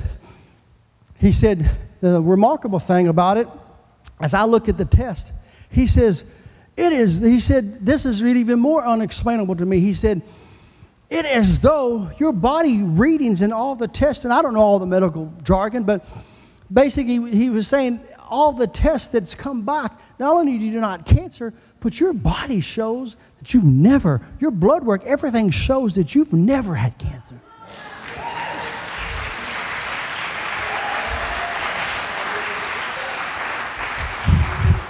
And when she said that to me, all I can think of, he's not just enough, he's more than enough. He's more than enough. He's more than enough. He's more than enough. Now, I, I just I want to read a few more things to you, scriptures to you, because I, I want you to also see something else about him, and then we're gonna I'm gonna pray. Now, I, I, I put the, wrote these down today, but I just, I, I, we just, I just want you to just you to meditate on what I want. To don't, you don't have to turn because I'm going to read you a number of scriptures, but I want you just to meditate on what the Lord has to say to us here from His Word in Psalms 119:90. Your faithfulness endures to all generations. You have established the earth, and it stands fast. Psalms 108 4. For your unfailing love is higher than the heavens, your faithfulness reaches to the clouds. Lamentations 3 22 and 23. The steadfastness love of the Lord never ceases. His mercies never come to an end. They are new every morning. Great is your faithfulness. Now, what am I doing? I'm reading. Listen, God is showing us who He is. Oh, Rista Labom Ropa Satai. 1 Corinthians 1:19 God is faithful by whom you were called into the fellowship of his son Jesus Christ the Lord. Psalms 33 4 for the word of the Lord is right and true. He is faithful in all he does. Your love, O Lord, reaches to the heavens, your faithfulness to the skies. Oh, as I read these scriptures, I think of this place and I think of what the Lord's promised this church. Psalms 86 15. But you, O Lord, are God merciful and gracious, slow to anger, and abounding in steadfast love and faithfulness. Psalms 89 8. O Lord God of hosts, who is a mighty one like unto you? O Lord, you, O Lord, you and your faithfulness is round about you, an essential part of all of you at all times.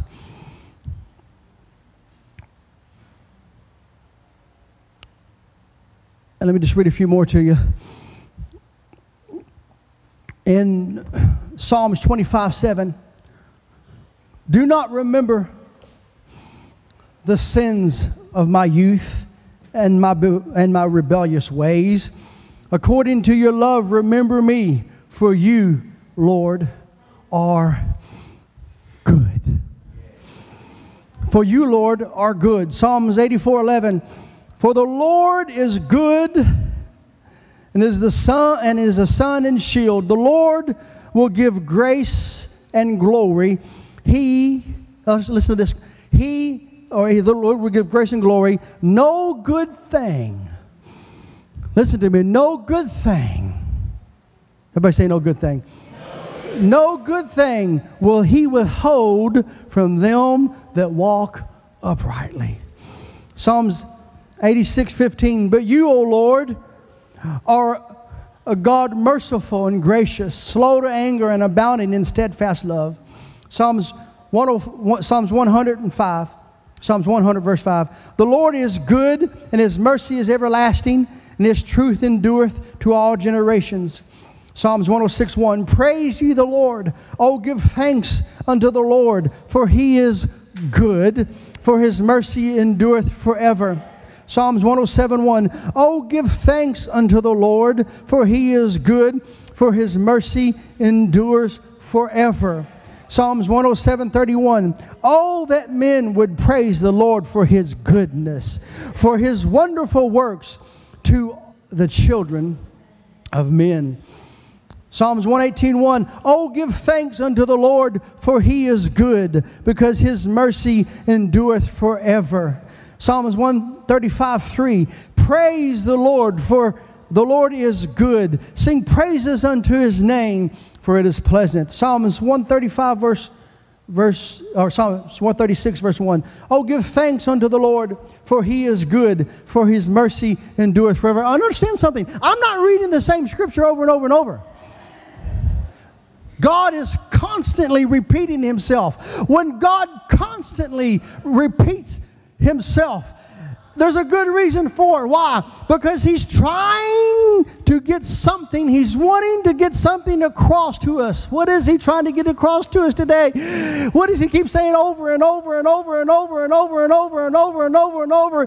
He is faithful and he is good.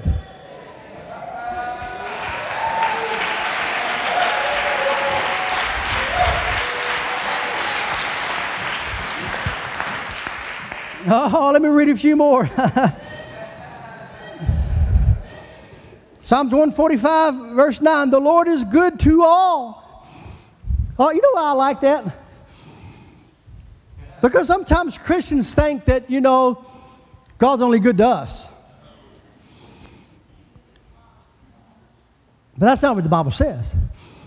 The Bible says in Psalms 145 3, the Lord is good to all. Guess what?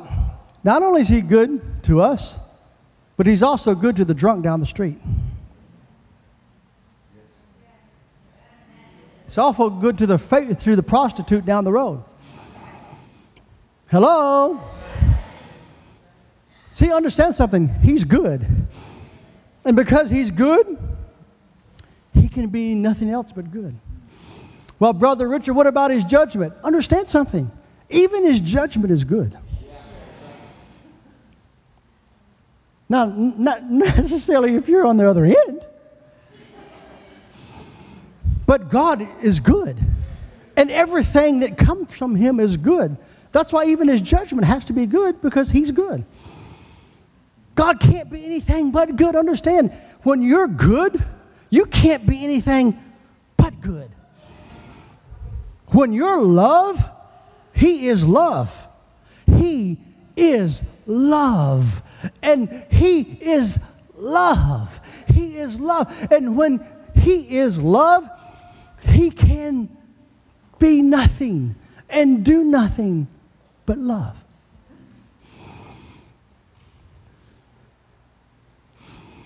He is mercy. Why do you think he keeps saying? I got a whole bunch more scriptures I can read on that. Is mercy. Why do you think he keeps saying over and over and over he's mercy?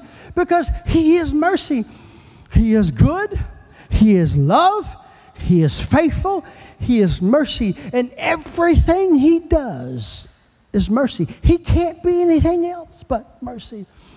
Paul's friend Epaphroditus, the Bible says that he was sick unto death, but God had mercy. Why? Because He's mercy. Do you understand? Oh, the more, the more I begin to really see Him, the more I really understand that, oh, I don't really even know you. And that just makes me want to know you even more. That's why I just, I, I, I tell you, I, my, my wife and I, we just, Pastor Mark, I, I couldn't wait to get here. I, I really, I love spending time with your pastor. That's why I'm staying over an extra day. I love spending time with your pastor. I just, I, I, I'm charged and energized, and now even more so when I, you know, see what he's done and see his goodness and see his faithfulness and see his mercy and see his promise that he is faithful to the end. And when everybody else is not faithful, he's faithful. Can I, can I, can I just take a few more minutes? Can I just, I, I just, uh, I have something that's going over in me. I, just turn, turn with me to Psalms 34. I just want to show you something else. Psalms 34. Shakaristo pumbra pasa vristo tobra anda vrapa sista rumba bashi koromane. Shukura mahata. And see, and understand something. Let me ask you a question. How many of you here God's shown you something about your life that hadn't come to pass yet? Raise your hand. How many here God shows you some things that you're going to be doing, but you haven't done them yet? Raise your hand. Guess what? Everything He's promised, everything He showed you, He is faithful and He is good and He is merciful and He will bring it to pass in your life. No matter what people are saying to you, no matter what they're telling you, no matter what the, even the circumstances in your life look at, God will bring it to pass. Because He's good. Because you know what? When He promises something, He promises it and He fulfills it. Psalms, look at this Psalms 34. Psalms 34. I will bless the Lord at all times, and his praise shall continually be in my mouth.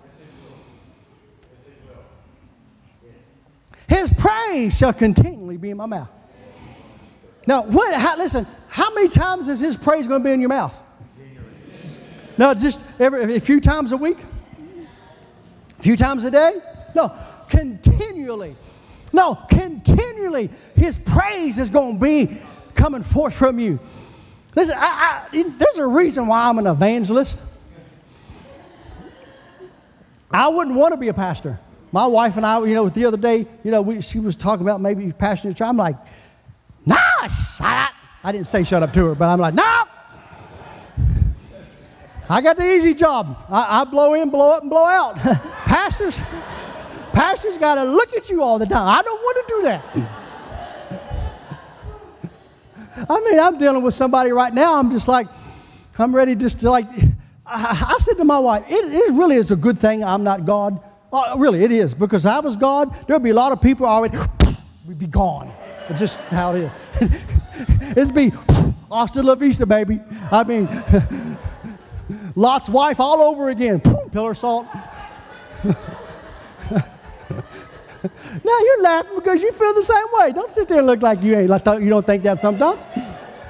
But you know, I'm not God, and but He is, and He's not like that. You know, even when we want to give up and quit, He doesn't, because He's faithful. Amen.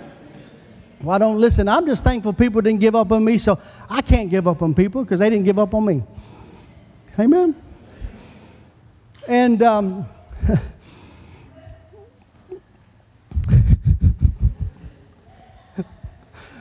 Oh, hallelujah. So, I, the reason I say it's a good thing, I mean, why God made me an evangelist, I, I'm just the type of person, I just tell everything. I do.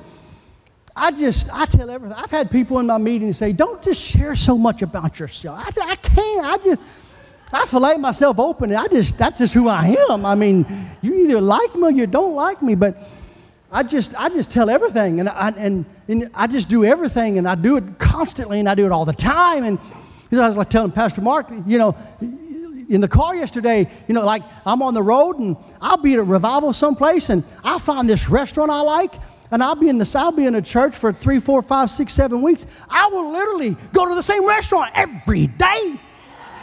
That's just me. I mean, I just, I just that way.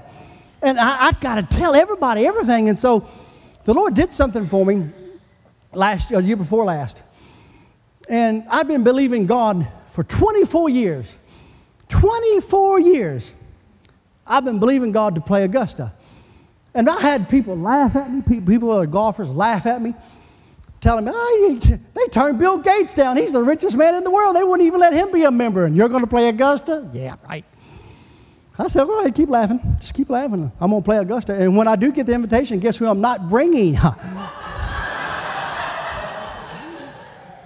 I had somebody tell me, and I got the invitation to play, and I had somebody tell me, take me. I said, no, no, no, no. I believe God for 24 years. You believe God now. That's what I told him. I said, You believe God now. Don't ride on my faith, you believe God, you ugly thing. And so I did. For 24 years, Brother Kelly, for 24 years, I believed God to, to, to play Augusta. And the Lord opened it up and, and gave me that invitation and flew me there, myself and, and Pastor Rodney and another pastor in Georgia. And the member flew us there in his own private jet. Went there in suit and tie, flew us there in his own private jet. And I, I played horrible. But I didn't. I told my caddy, I said, I don't care. Because he's like, I said, you know, I said, I, I, I said, you know, you know why I don't care that I'm playing bad? He said, what, why is that, Mr. Moore? I said, because I believe God for 24 years to play this course. And he looked at me like, believe God? I said, oh, I believe God. I believe my father for 24 years to play this. And I'm walking, I'm walking out something I believed and I had faith for. It took 24 years, but I'm walking it right now. And I just want to enjoy the moment. So I don't care. I don't care. But you know what? But here's what I did though. When God opened that door, I told everybody. I, actually, I had, I had some of my friends that play golf. It's just like, okay, shut up, enough already. No, no, no, no. no. My Bible says, listen, I will bless the Lord at all times, and his praise shall continually be in my mouth. I told everybody. I mean, I told everybody. Listen, I was getting on the airplane because I live on them anyway. But I was getting on the airplane, and as I got on the airplane, a guy who, who had a had a, um, golf hat on. And I'm getting on the airplane, and I saw his Titleist hat. I said, "Oh, you're a golfer?" He said, "Yeah." I said, "I'm playing Augusta." I'm playing Augusta. I'm serious. I told him I'm playing Augusta. And I'd see people with golf logos on, and especially those that had a, a, a Masters logo on. I said, Hey, you been to Augusta? Oh, no, I haven't been. I said, Oh, it's a dream of mine, but it probably never happened. You know what I said? I'm playing. I'm playing. And I played it. No, I'm serious. His praise shall continually be in my mouth. Now, you can't believe that people now want me to get them on Augusta. I, no, I tell them, I said, I believe God. No, you believe God. Now, and they laughed at me. Those that laughed, Pastor Mark, they're not laughing anymore. So now you know what I'm speaking? I'm going to be a member. Oh, come on. Let me go over here. Let me, I, I don't know what's on with that. Let me come over here to the revival section. I'm going to be a member now.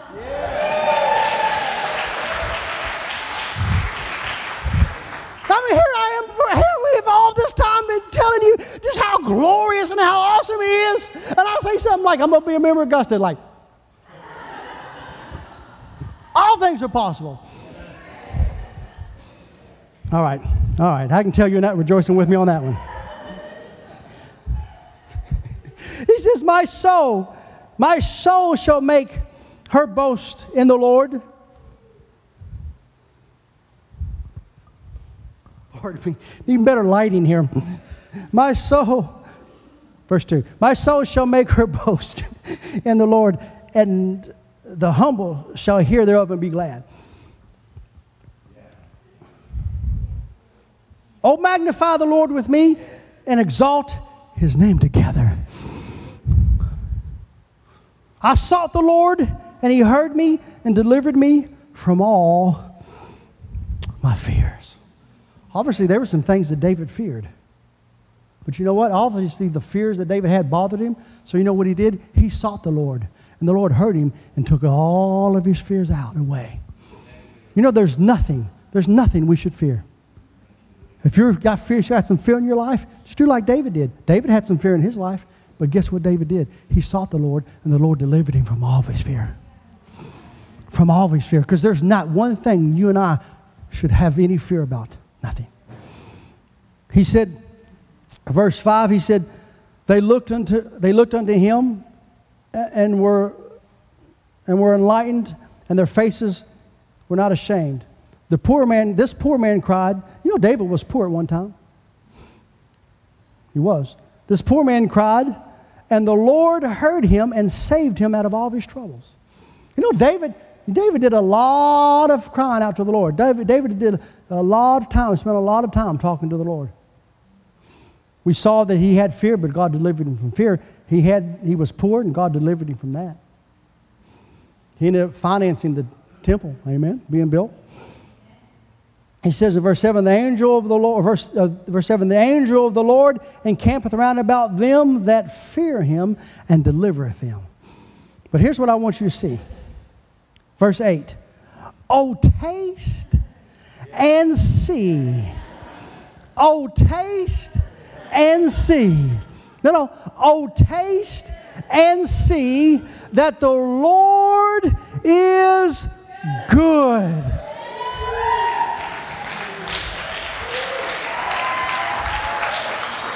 that the Lord is good. Listen. Blessed is the man that trusteth in him. Oh, fear the Lord, you his saints, for there is no want to them that fear him. The young lions do lack and suffer hunger but they that seek the Lord shall not want any good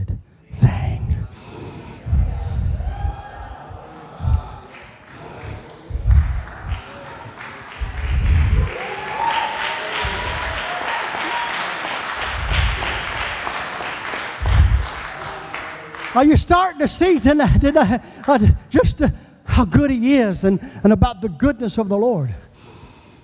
He is good. Yeah, but Brother Richard, you just don't know what I've done in my life. You just don't know the mess of the things that I've done in my life. You just don't know what I did. Well, you narcissistic, conceited thing, you. There's been other people that's done a whole lot worse than you, and God forgave them, was good to them. What makes you think now? in your narcissistic, conceited ways that your mistake is so great that it's greater than the goodness of God.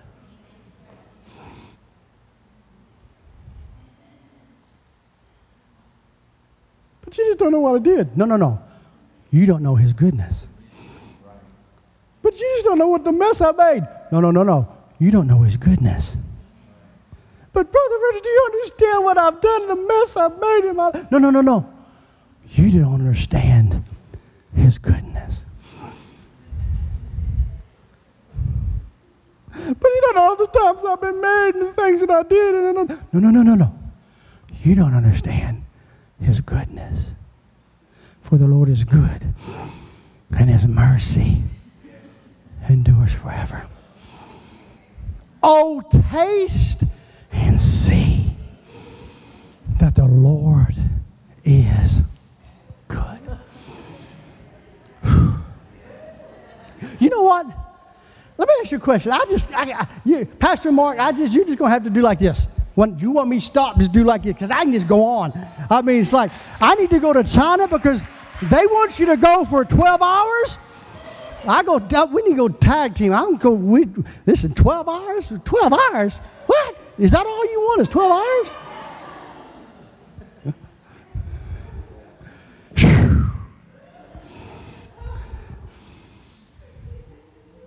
Let me ask you a question. How many of you ever have started a sentence with, oh?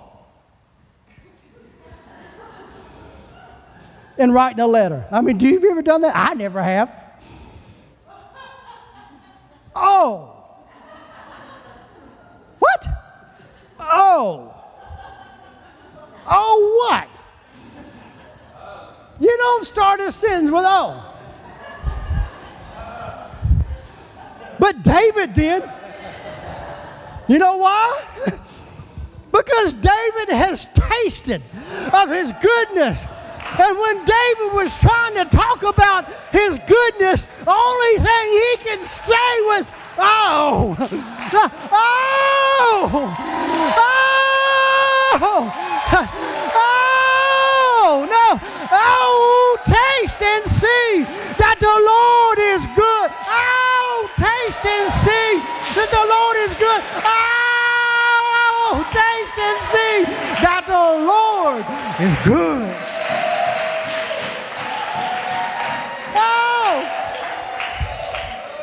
That's, that, that's the new theme every time you leave this church because it's just so good. Oh! oh! Mama! Call mama up. Mama! Oh! Oh, what? Oh! Let me tell you what happened today. Let me just tell you how good he is. Oh, taste and see that the Lord is good. He's so good that it's His goodness that leads men to repentance. He's so good that He said, Goodness and mercy will follow us all the days of our life.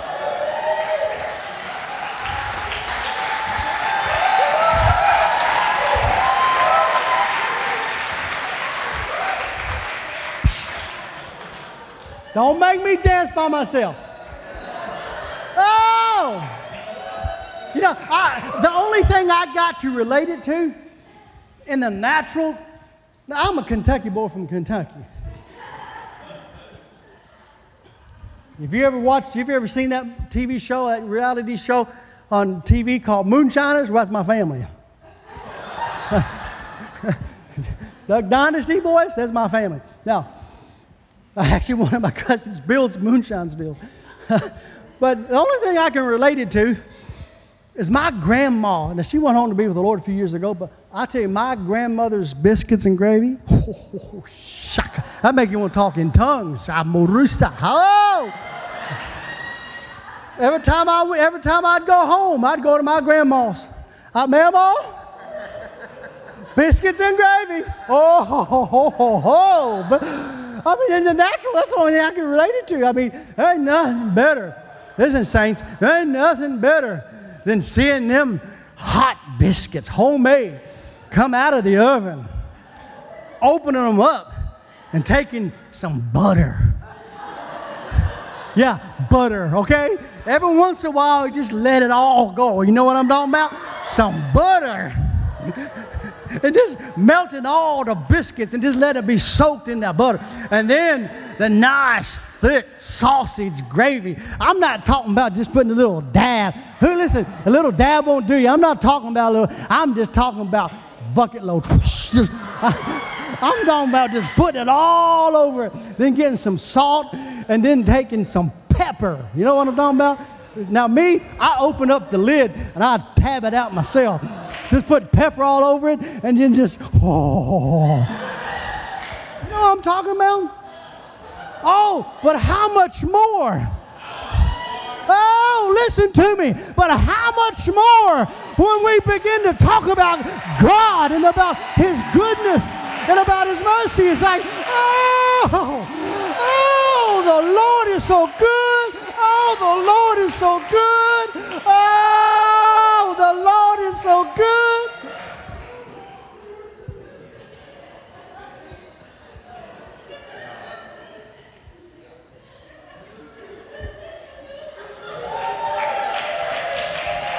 Elizabeth and Ruth Ann, don't make me dance by myself now.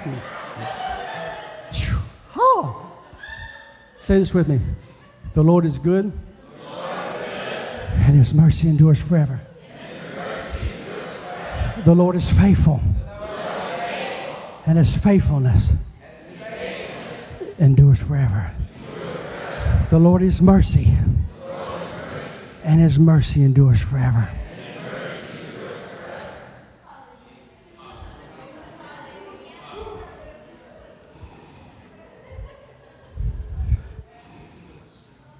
But you know how it all starts? It all starts with Jesus.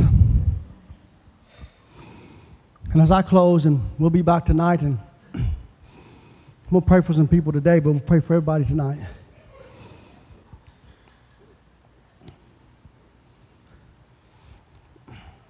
Because the Lord wants you to encounter Him. But before I close, I want you to understand something. It all starts with Jesus. Everything starts with Jesus. My Lord Jesus. Oh, my Jesus. The one who knew no sin but became sin. The one who was led to the slaughter as a lamb and opened not his mouth, saying not a word. Oh, my Jesus. Everything starts with him. So I went out ashamed. But I want you to understand when you get him, you get everything. When you get him, you get it all. And in order to have everything, I have to have one thing. Amen. And that is Jesus. And as I close this morning, I want to close with this. I read here not long ago, I read of a true story. and this is, I mean, this is, this is not a, I mean, it's a true story. I mean, this really happened. Years ago, during the war, during the Vietnam War, but it, this, this father, and this had his son, and his wife died of a, of a disease, and very, very wealthy, very wealthy man. I mean, worth hundreds and hundreds and hundreds of millions of dollars, probably into the billions to today. And so his wife died at a very young age, and so he raised his son, this wealthy man, raised his son. And they became very, very close. And they were into art. And they, his hallways in his mansion, his rooms, his hallways were filled with hundreds, literally hundreds of millions of dollars of art from Picasso's and Van Gogh's and Da Vinci's and all, you name it, it was there. So much so that this man's art collection in his home was famed around the world. Well, the war began and his son was drafted. His son went off to war. And the thing about it was is that they became so close and his son became such a such he, he, he knew more about art than the father. He just he could just talk about everything about the art. He just become almost an expert in, the, in, in art. Went off to war, and a, a couple years later, the army came to this man's door. And when he opened the door, he was met by two army officers to inform him the sad news that his son had died. And his son died saving a, another soldier's life. The man went into deep despair. Didn't, I don't, I don't know if he knew the Lord or not, but he went into deep despair, deep depression, and he just locked himself up in his room. And this went on for, for a few years. Had, listen, had, had his hallways and his rooms decked with the finest art there is had hundreds and hundreds of millions of dollars, maybe billion dollars to today's standards, but yet couldn't bring him any joy, couldn't bring him happiness, couldn't bring back his son. And one day, it was Christmas Day, this man got a knock on the door, and he answered it. And it was this young man standing at this door and he said, Sir, you don't know me. And he had a painting. This man had, this young boy, this uh, young man had a, wasn't a boy, a young man had a painting. And he said, Sir, you don't know me. He said, But I'm so and so. I became best friends with your son. And he told me of all that your travel, you and, how you and him traveled the world and collected art. He said, I'm the one that your son died saving. He saved my life. And, and I, I've wanted to do something, and I haven't known anything to do, but he, he told me of how you loved art and how you guys would travel the world. And so he unwrapped this huge painting of his son. He wasn't a, an artist, wasn't a fine artist at all. But the man embraced the painting because it was his son. And he took and he hung it right in the middle of 80 million, 100 million dollar art collections. Right in the middle over the mantle. And when you walked into the man's art room, the very first thing you would see was this very amor, painting of the man's son. Well, the man died. And word hit that the man died and they was going to auction off the art collection. And the day came when they offered up the art collection. The, the estate was filled with dignitaries and, and art collectors and buyers of art from all over the world, stated. All over the world. And the auctioneer got up and the auctioneer held up the painting of this man's son. And he said, the man said, This will be the first painting up for auction today. And somebody from the, from the crowd hollered out, We don't want that painting. We haven't come for that painting. It's no value, it means nothing. Now let's get on with the, with the Van Goghs and the Picassos and start naming off all the artists. The auctioneer said it stated by so and so, the old man, it stated that in his will that this is the painting that's to be auctioned off first. So who will bid on it?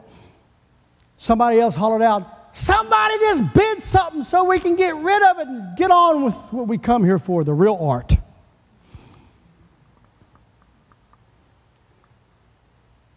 The gardener of the estate was in the back room. The gardener raised his hand and said, I'll give $10 for it. $10. Can I get 20? Can I get 20? Somebody else hollered out, just give him the painting for $10 and let's get on with this. Do I hear, do I have 20? Do I hear 20? Another 20? 10, 10, 10. Put his gavel down. Said, sold for $10. And people started to cheer. Now we can get on with it. The auctioneer said, This, this auction is over. People started, they being furious. What do you mean? We've traveled for all over the world to come here from all parts of the world. What do you mean? I represent so and so, and I represent so and so. I'm so and so. What do you mean this auction is over? The auctioneer said, The old man stated in the will that whoever gets the Son gets it all.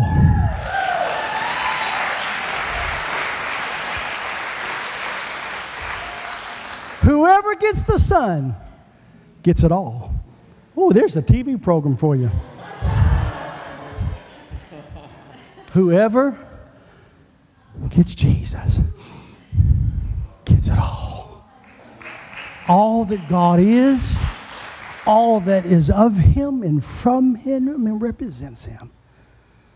We get it all. When we get Jesus as our Lord and as our Savior. Just lift your hands. Lord, we worship you today. Lord, we worship you. Lord, we worship you. Lord, we worship you. And we magnify and we glorify you. Lord, you're so good to us. Lord, all of our days you've been so good to us and you've been so merciful to us. You've been so faithful to us. Lord, you, you've loved us so much. Lord, we worship you and we thank you. Lord, we thank you, we thank you, we thank you. Lord, you're so good to us that you sent your son Jesus not only to give his life but he went about all the cities and villages preaching and teaching. And you anointed him. And everywhere he went, He went about doing good and healing all that was oppressed of the devil, for you were with him. And we worship you today. And I thank you that not one person will leave this place as they've come. But before we move any further, whoever gets the Son gets it all. But you can't get it all until you have the Son. And before we go any further, with every head bowed, every eye closed, you've come here this morning, you say, Brother Richard, I used to be on fire, but I've grown cold. I used to be on fire for him, but I've grown cold. This morning, I want to rededicate my life to him. That's you, I want to pray with you. If you're here this morning, you say, Brother Richard, I, I don't know if I was to, if I was to die today, I don't know that I would enter into heaven and be with and be in heaven. I don't know that I'd be in glory. I don't know where I'd go. If you come this morning, it starts with Jesus. When you make him the Lord of your life, then you get it all. If you've come this morning, you want to make him the Lord of your life, the Savior of your heart, you get it all. The last invitation, you're here this morning. Say, Brother Richard, I, I attend church, but the devil's been lying to me, telling me I'm not saved. I, for whatever reason, where you went through, had a mistake or messed up or got in a fight with a friend, whatever, had a divorce or whatever, but the enemy's lying to you, telling you you're not saved. But this morning, you want to make sure we're going to pray with you. All over this church, body and place. If any one of those three invitations apply to you to make Jesus the Lord of your life, to rededicate your life, or to make sure, if any one of those invitations apply to you, just raise your hand right now. Brother Richard, pray for me. Just raise your hand up high. Yes, ma'am, I see your hand. Yes, in the back, sir, I see your hand. Yes, ma'am, I see your hand. Yes, sir, I see your hand. Yes, sir. Anybody else, raise your hand. Brother Richard, pray for me. Yes, ma'am, I see your hand. Anybody else? Thank you, sir, in the back. Raise your hand all over this auditorium. Brother Richard, pray for me. Pray for me. I didn't realize how good, just how good the Lord is. He's so good. I want to give him my life. Just raise your hand. Anybody else? Thank you, ma'am. Anybody else? Raise your hand. All right. Everyone, look at me. I'm going to do just like I said. I'm going to pray for you. Those of you that you raised your hand, on one of those three invitations, you raised your hand. I want you to stand up right now. Just stand up. I want to do just like I said. Now, come. Those of you standing, I want you to just come, come, come stand right here.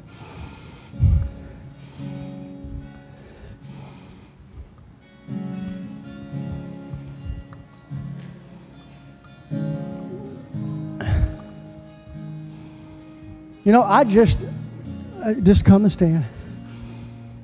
I, I tell you, Pastor Mark, I just got so much going over in me, especially just about faithfulness. You know, as we came in here yesterday and saw the workers, saw them working, no spotlights on them. It's not a glamorous job, it's a behind the scenes job. But as I saw, them working. I just, even, even today, all I can say to you is this, and I feel the Lord just saying to me is that you need to understand every thing you do in accordance to your faithfulness to what God's told you to do, right down to just putting into the lights. That your faithfulness does not go unnoticed with God. And understand something God doesn't war- reward how big it is, God doesn't reward how glamorous it is. God rewards the faithfulness because He is faithful. And because He's faithful, it's faithfulness, Ruth Ann, that He rewards. Whew. Now, those of you that are, that are up here, just come. Just come up here. Just, Usher, just bring these over here. Just bring them in line. Man, that's the power of God on you. Just come stand right here. What's your name?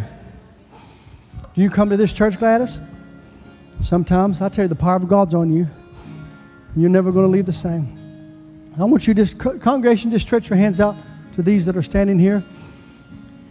Now, for whatever reason you're up here, whatever to make Jesus the Lord of your life, to rededicate your life, or to make sure, just know for whatever reason you're standing here today, just know this one thing. You're leaving this house, and all is well with you and the Lord. That all is well, and you can rejoice that you're in Him. Amen. You're very sick. We're going to, you have a disease. And well, the Lord's going to touch you today. Well, He's going to touch you today. He's going to touch you today. He's going to touch you today. You don't have to be. Now, those of you that are up here, I want you to just close your eyes. Just close your eyes. And I want you to pray with me. Congregation, you pray with us. Just pray this with me. Say, Dear God, I come to you. I believe that you are God. I believe that you sent your son Jesus to die for me. You said if I would come to you, that you had not turned me away. And I come to you now. I come to give you my life. I come to give you my heart. I come to make the decision today to serve you all my days. I believe that Jesus, your son, died for me on a cross. I believe that he bore my sins and he bore my sicknesses. That if I would make him the Lord of my life,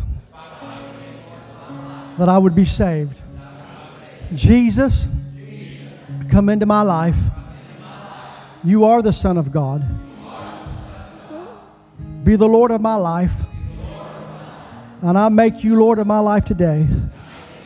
I make you Savior of my life today. And from this day on, I will serve you. I will live for you.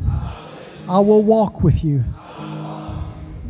My life no longer belongs to me, but my life belongs to you. Thank you for saving me today and filling me and baptizing me in the Holy Ghost and the fire of heaven. Now, Father, in the name, now I'm going to pray for you now. Just lift your hands. Father, in the name of the Lord Jesus, the moment I have my hands upon you, the power of God goes right in you. Father, in the name of Jesus. That's it, ma'am.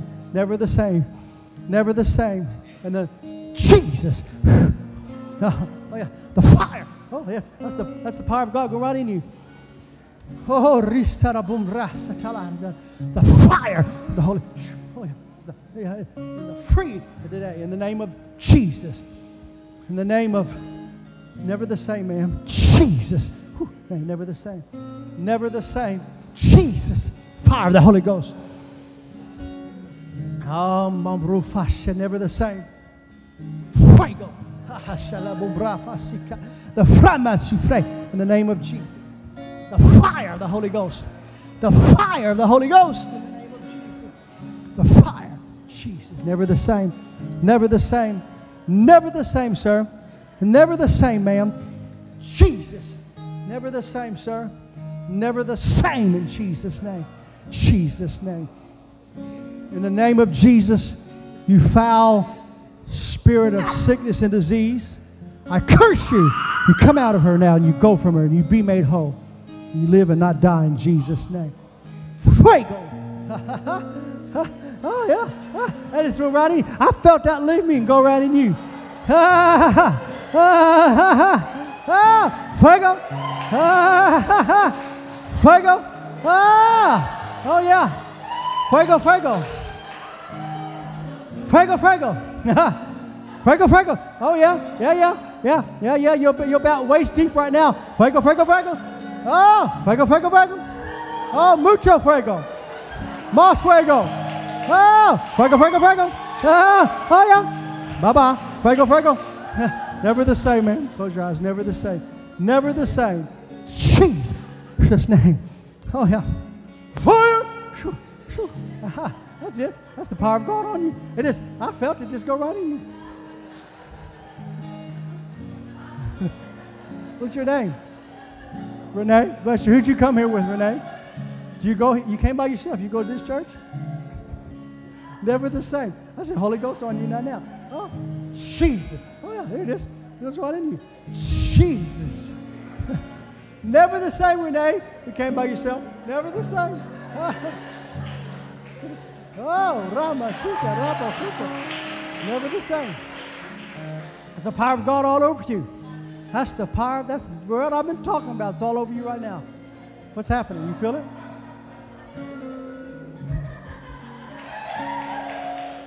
Never the same. Fire! Never the same, Renee. Come, come here. Yes, come here.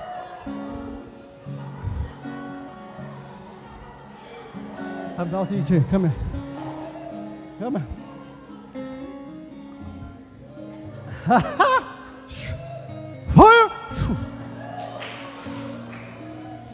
Hey, come up on the carpet. Come on the carpet. Oh, fire! Oh, fire! Oh yeah, yeah, yeah, yeah. Shariso Romani de Vrabasita. Ha ha.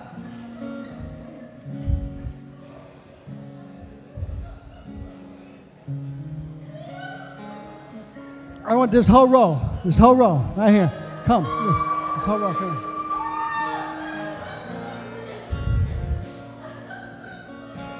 I mean, where are you going anyway? Oh, Horisa, come, stay right here. Harisa rabo risata.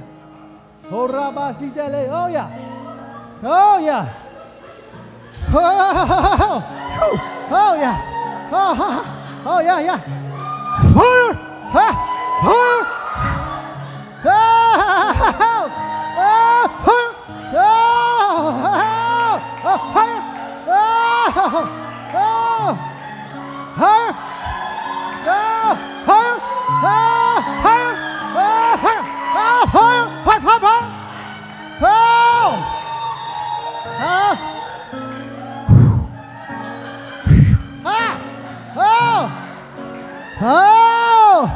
Fire, fire, fire! Crystal's husband?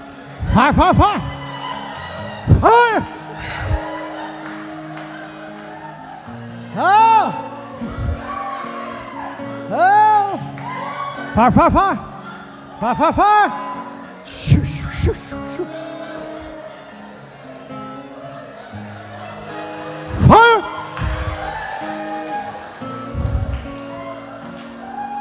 Lady with your hands up.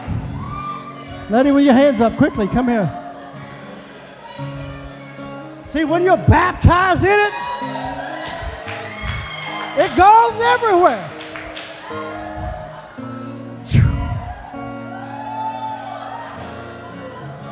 Come here. One, Sister Spitsbergen. Come here. Come here. You come here. Come here. Come here. You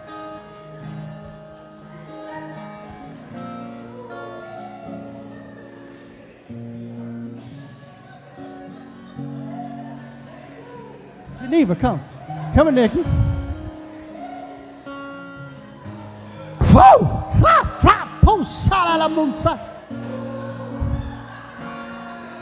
What's your name? Oh, oh, I feel the same way, Sister, Sister Nikki. Ah! Fire! Ah! Fire! Ah! Is this your niece? What's that? Huh? This your daughter? That's your son. What- What's, your, what's her niece name? Oh, this is your wife. Huh? Katrina. Sister, come step up a little closer, uh, Trina. Never the same. As I saw you today, just sitting in the service, ha ha, fire. The fire of the, Baba, of the Holy Ghost.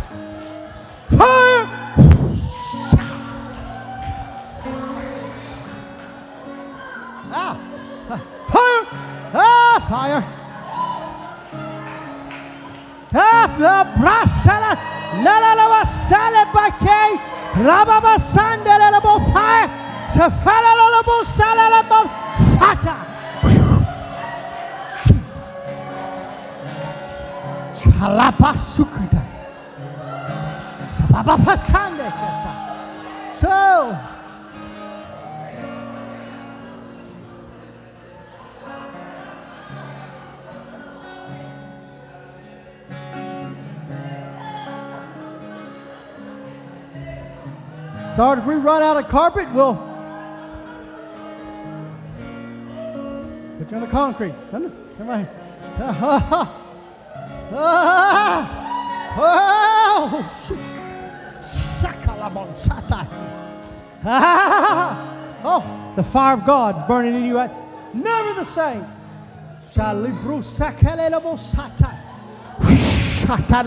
Sandeleba. Ah, the fire pasaya. Safaya su. Salalamompaya to shifa. I can't help it. Don't want to help it. Ha ha ha. Oh, come here, Ruthie.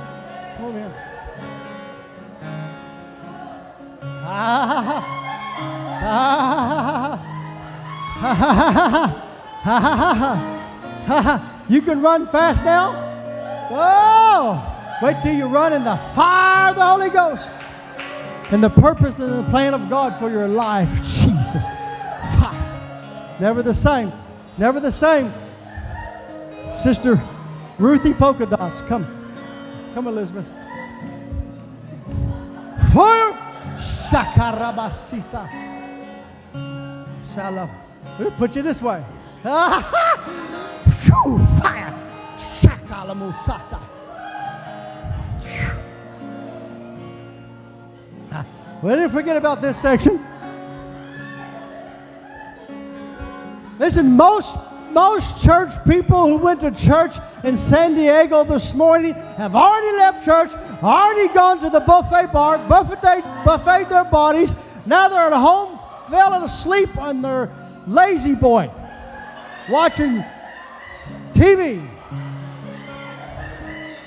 That's going to change, I believe. So fire the Holy Ghost all over you. What's her name? You don't know? Oh, Jesus!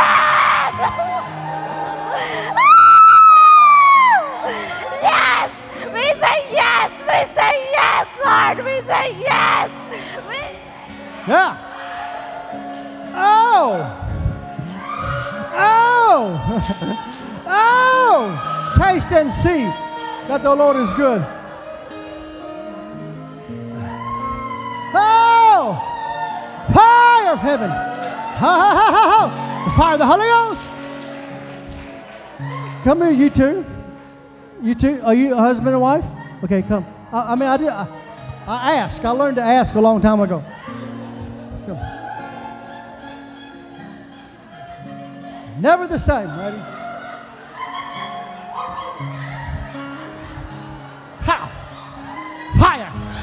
Fire! Oh! Fire!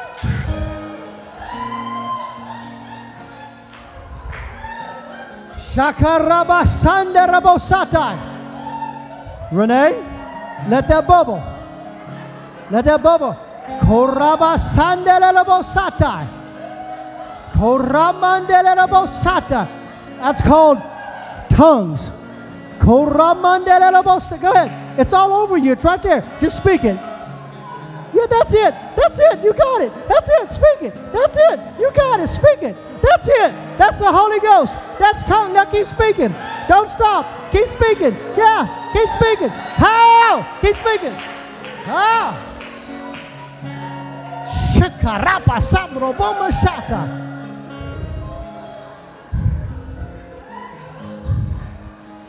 This whole section, stand up.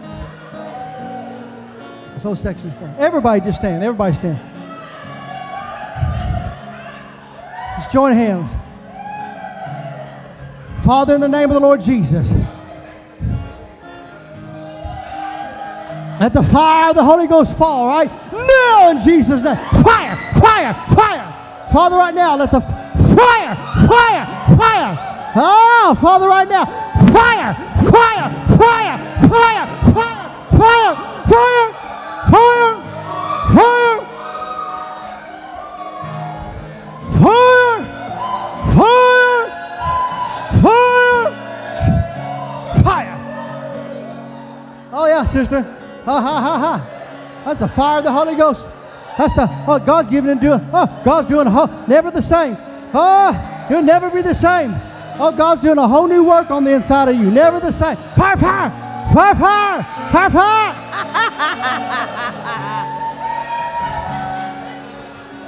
Oh, fire! Fire, fire, fire!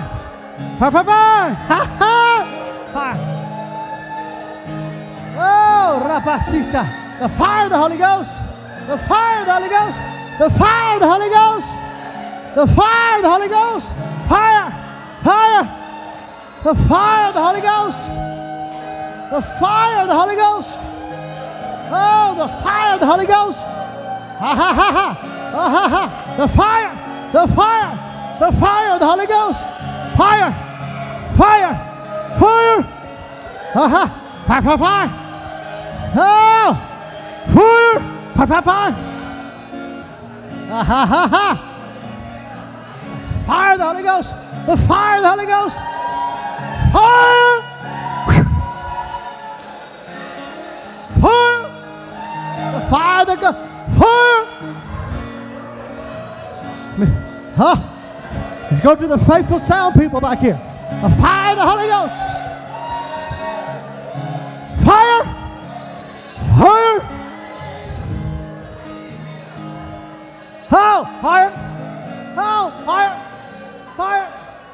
The fire of the Holy Ghost. Can't forget the sound people. Ha ha ha ha! Ha ha ha ha! Fire! Fire!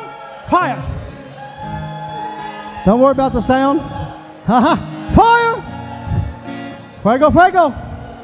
Fuego, fuego! Fuego! Más fuego! Más fuego! Más fuego!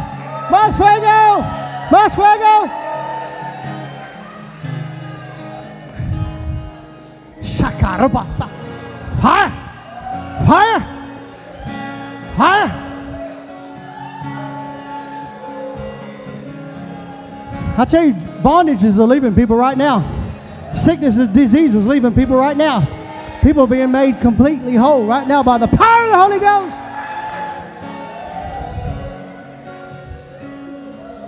Ha ha ha ha. Shakario saparianai. Ha ha ha ha ha ha. Ha ha ha. Ha. Salerobosandai.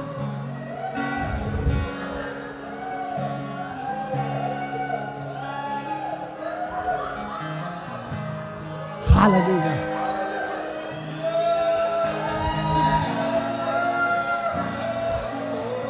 I hear, I hear it. I hear freedom. I hear freedom. I hear freedom. I hear freedom.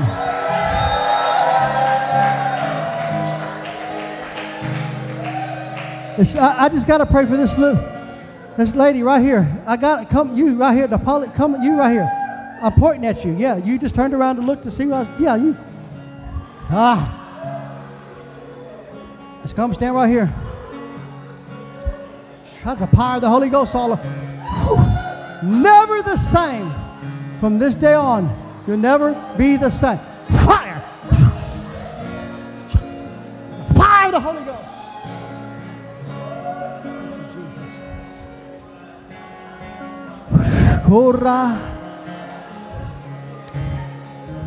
All sickness and disease is cursed. That's leaving your body. Diabetes is leaving your body in the name of Jesus. All fear is leaving you. That's gripped you is leaving you in the name of Jesus. Well, we don't, you know what, there's no such thing as an end. We just pick up where we leave off. We'll pick up tonight. Get on the telephones, bring those that you know that need a touch from heaven. I'm going to hand this over to the Holy Ghost pastor. We might be just here a few more hours, so don't leave yet. Be sure and hug everybody you pass. Uh, you cannot, you cannot pass by someone and not hug them. If you want to experience more the love of God, participate with the love of God. If you're on the floor, you don't need to get up. But everybody, I want to encourage you come worship the Lord with your tithes and your offerings, a part of worship that you want to be a, that you want to participate with. Because in the participation of it, in the participation of it, a miracle takes place. Amen. Hallelujah. so come worship the Lord. Don't walk past anybody, not hug them after that. You come worship the Lord and with your tithes, with your offering, make sure that everybody you pass by, you, you, you hug them, you bless them in Jesus' name.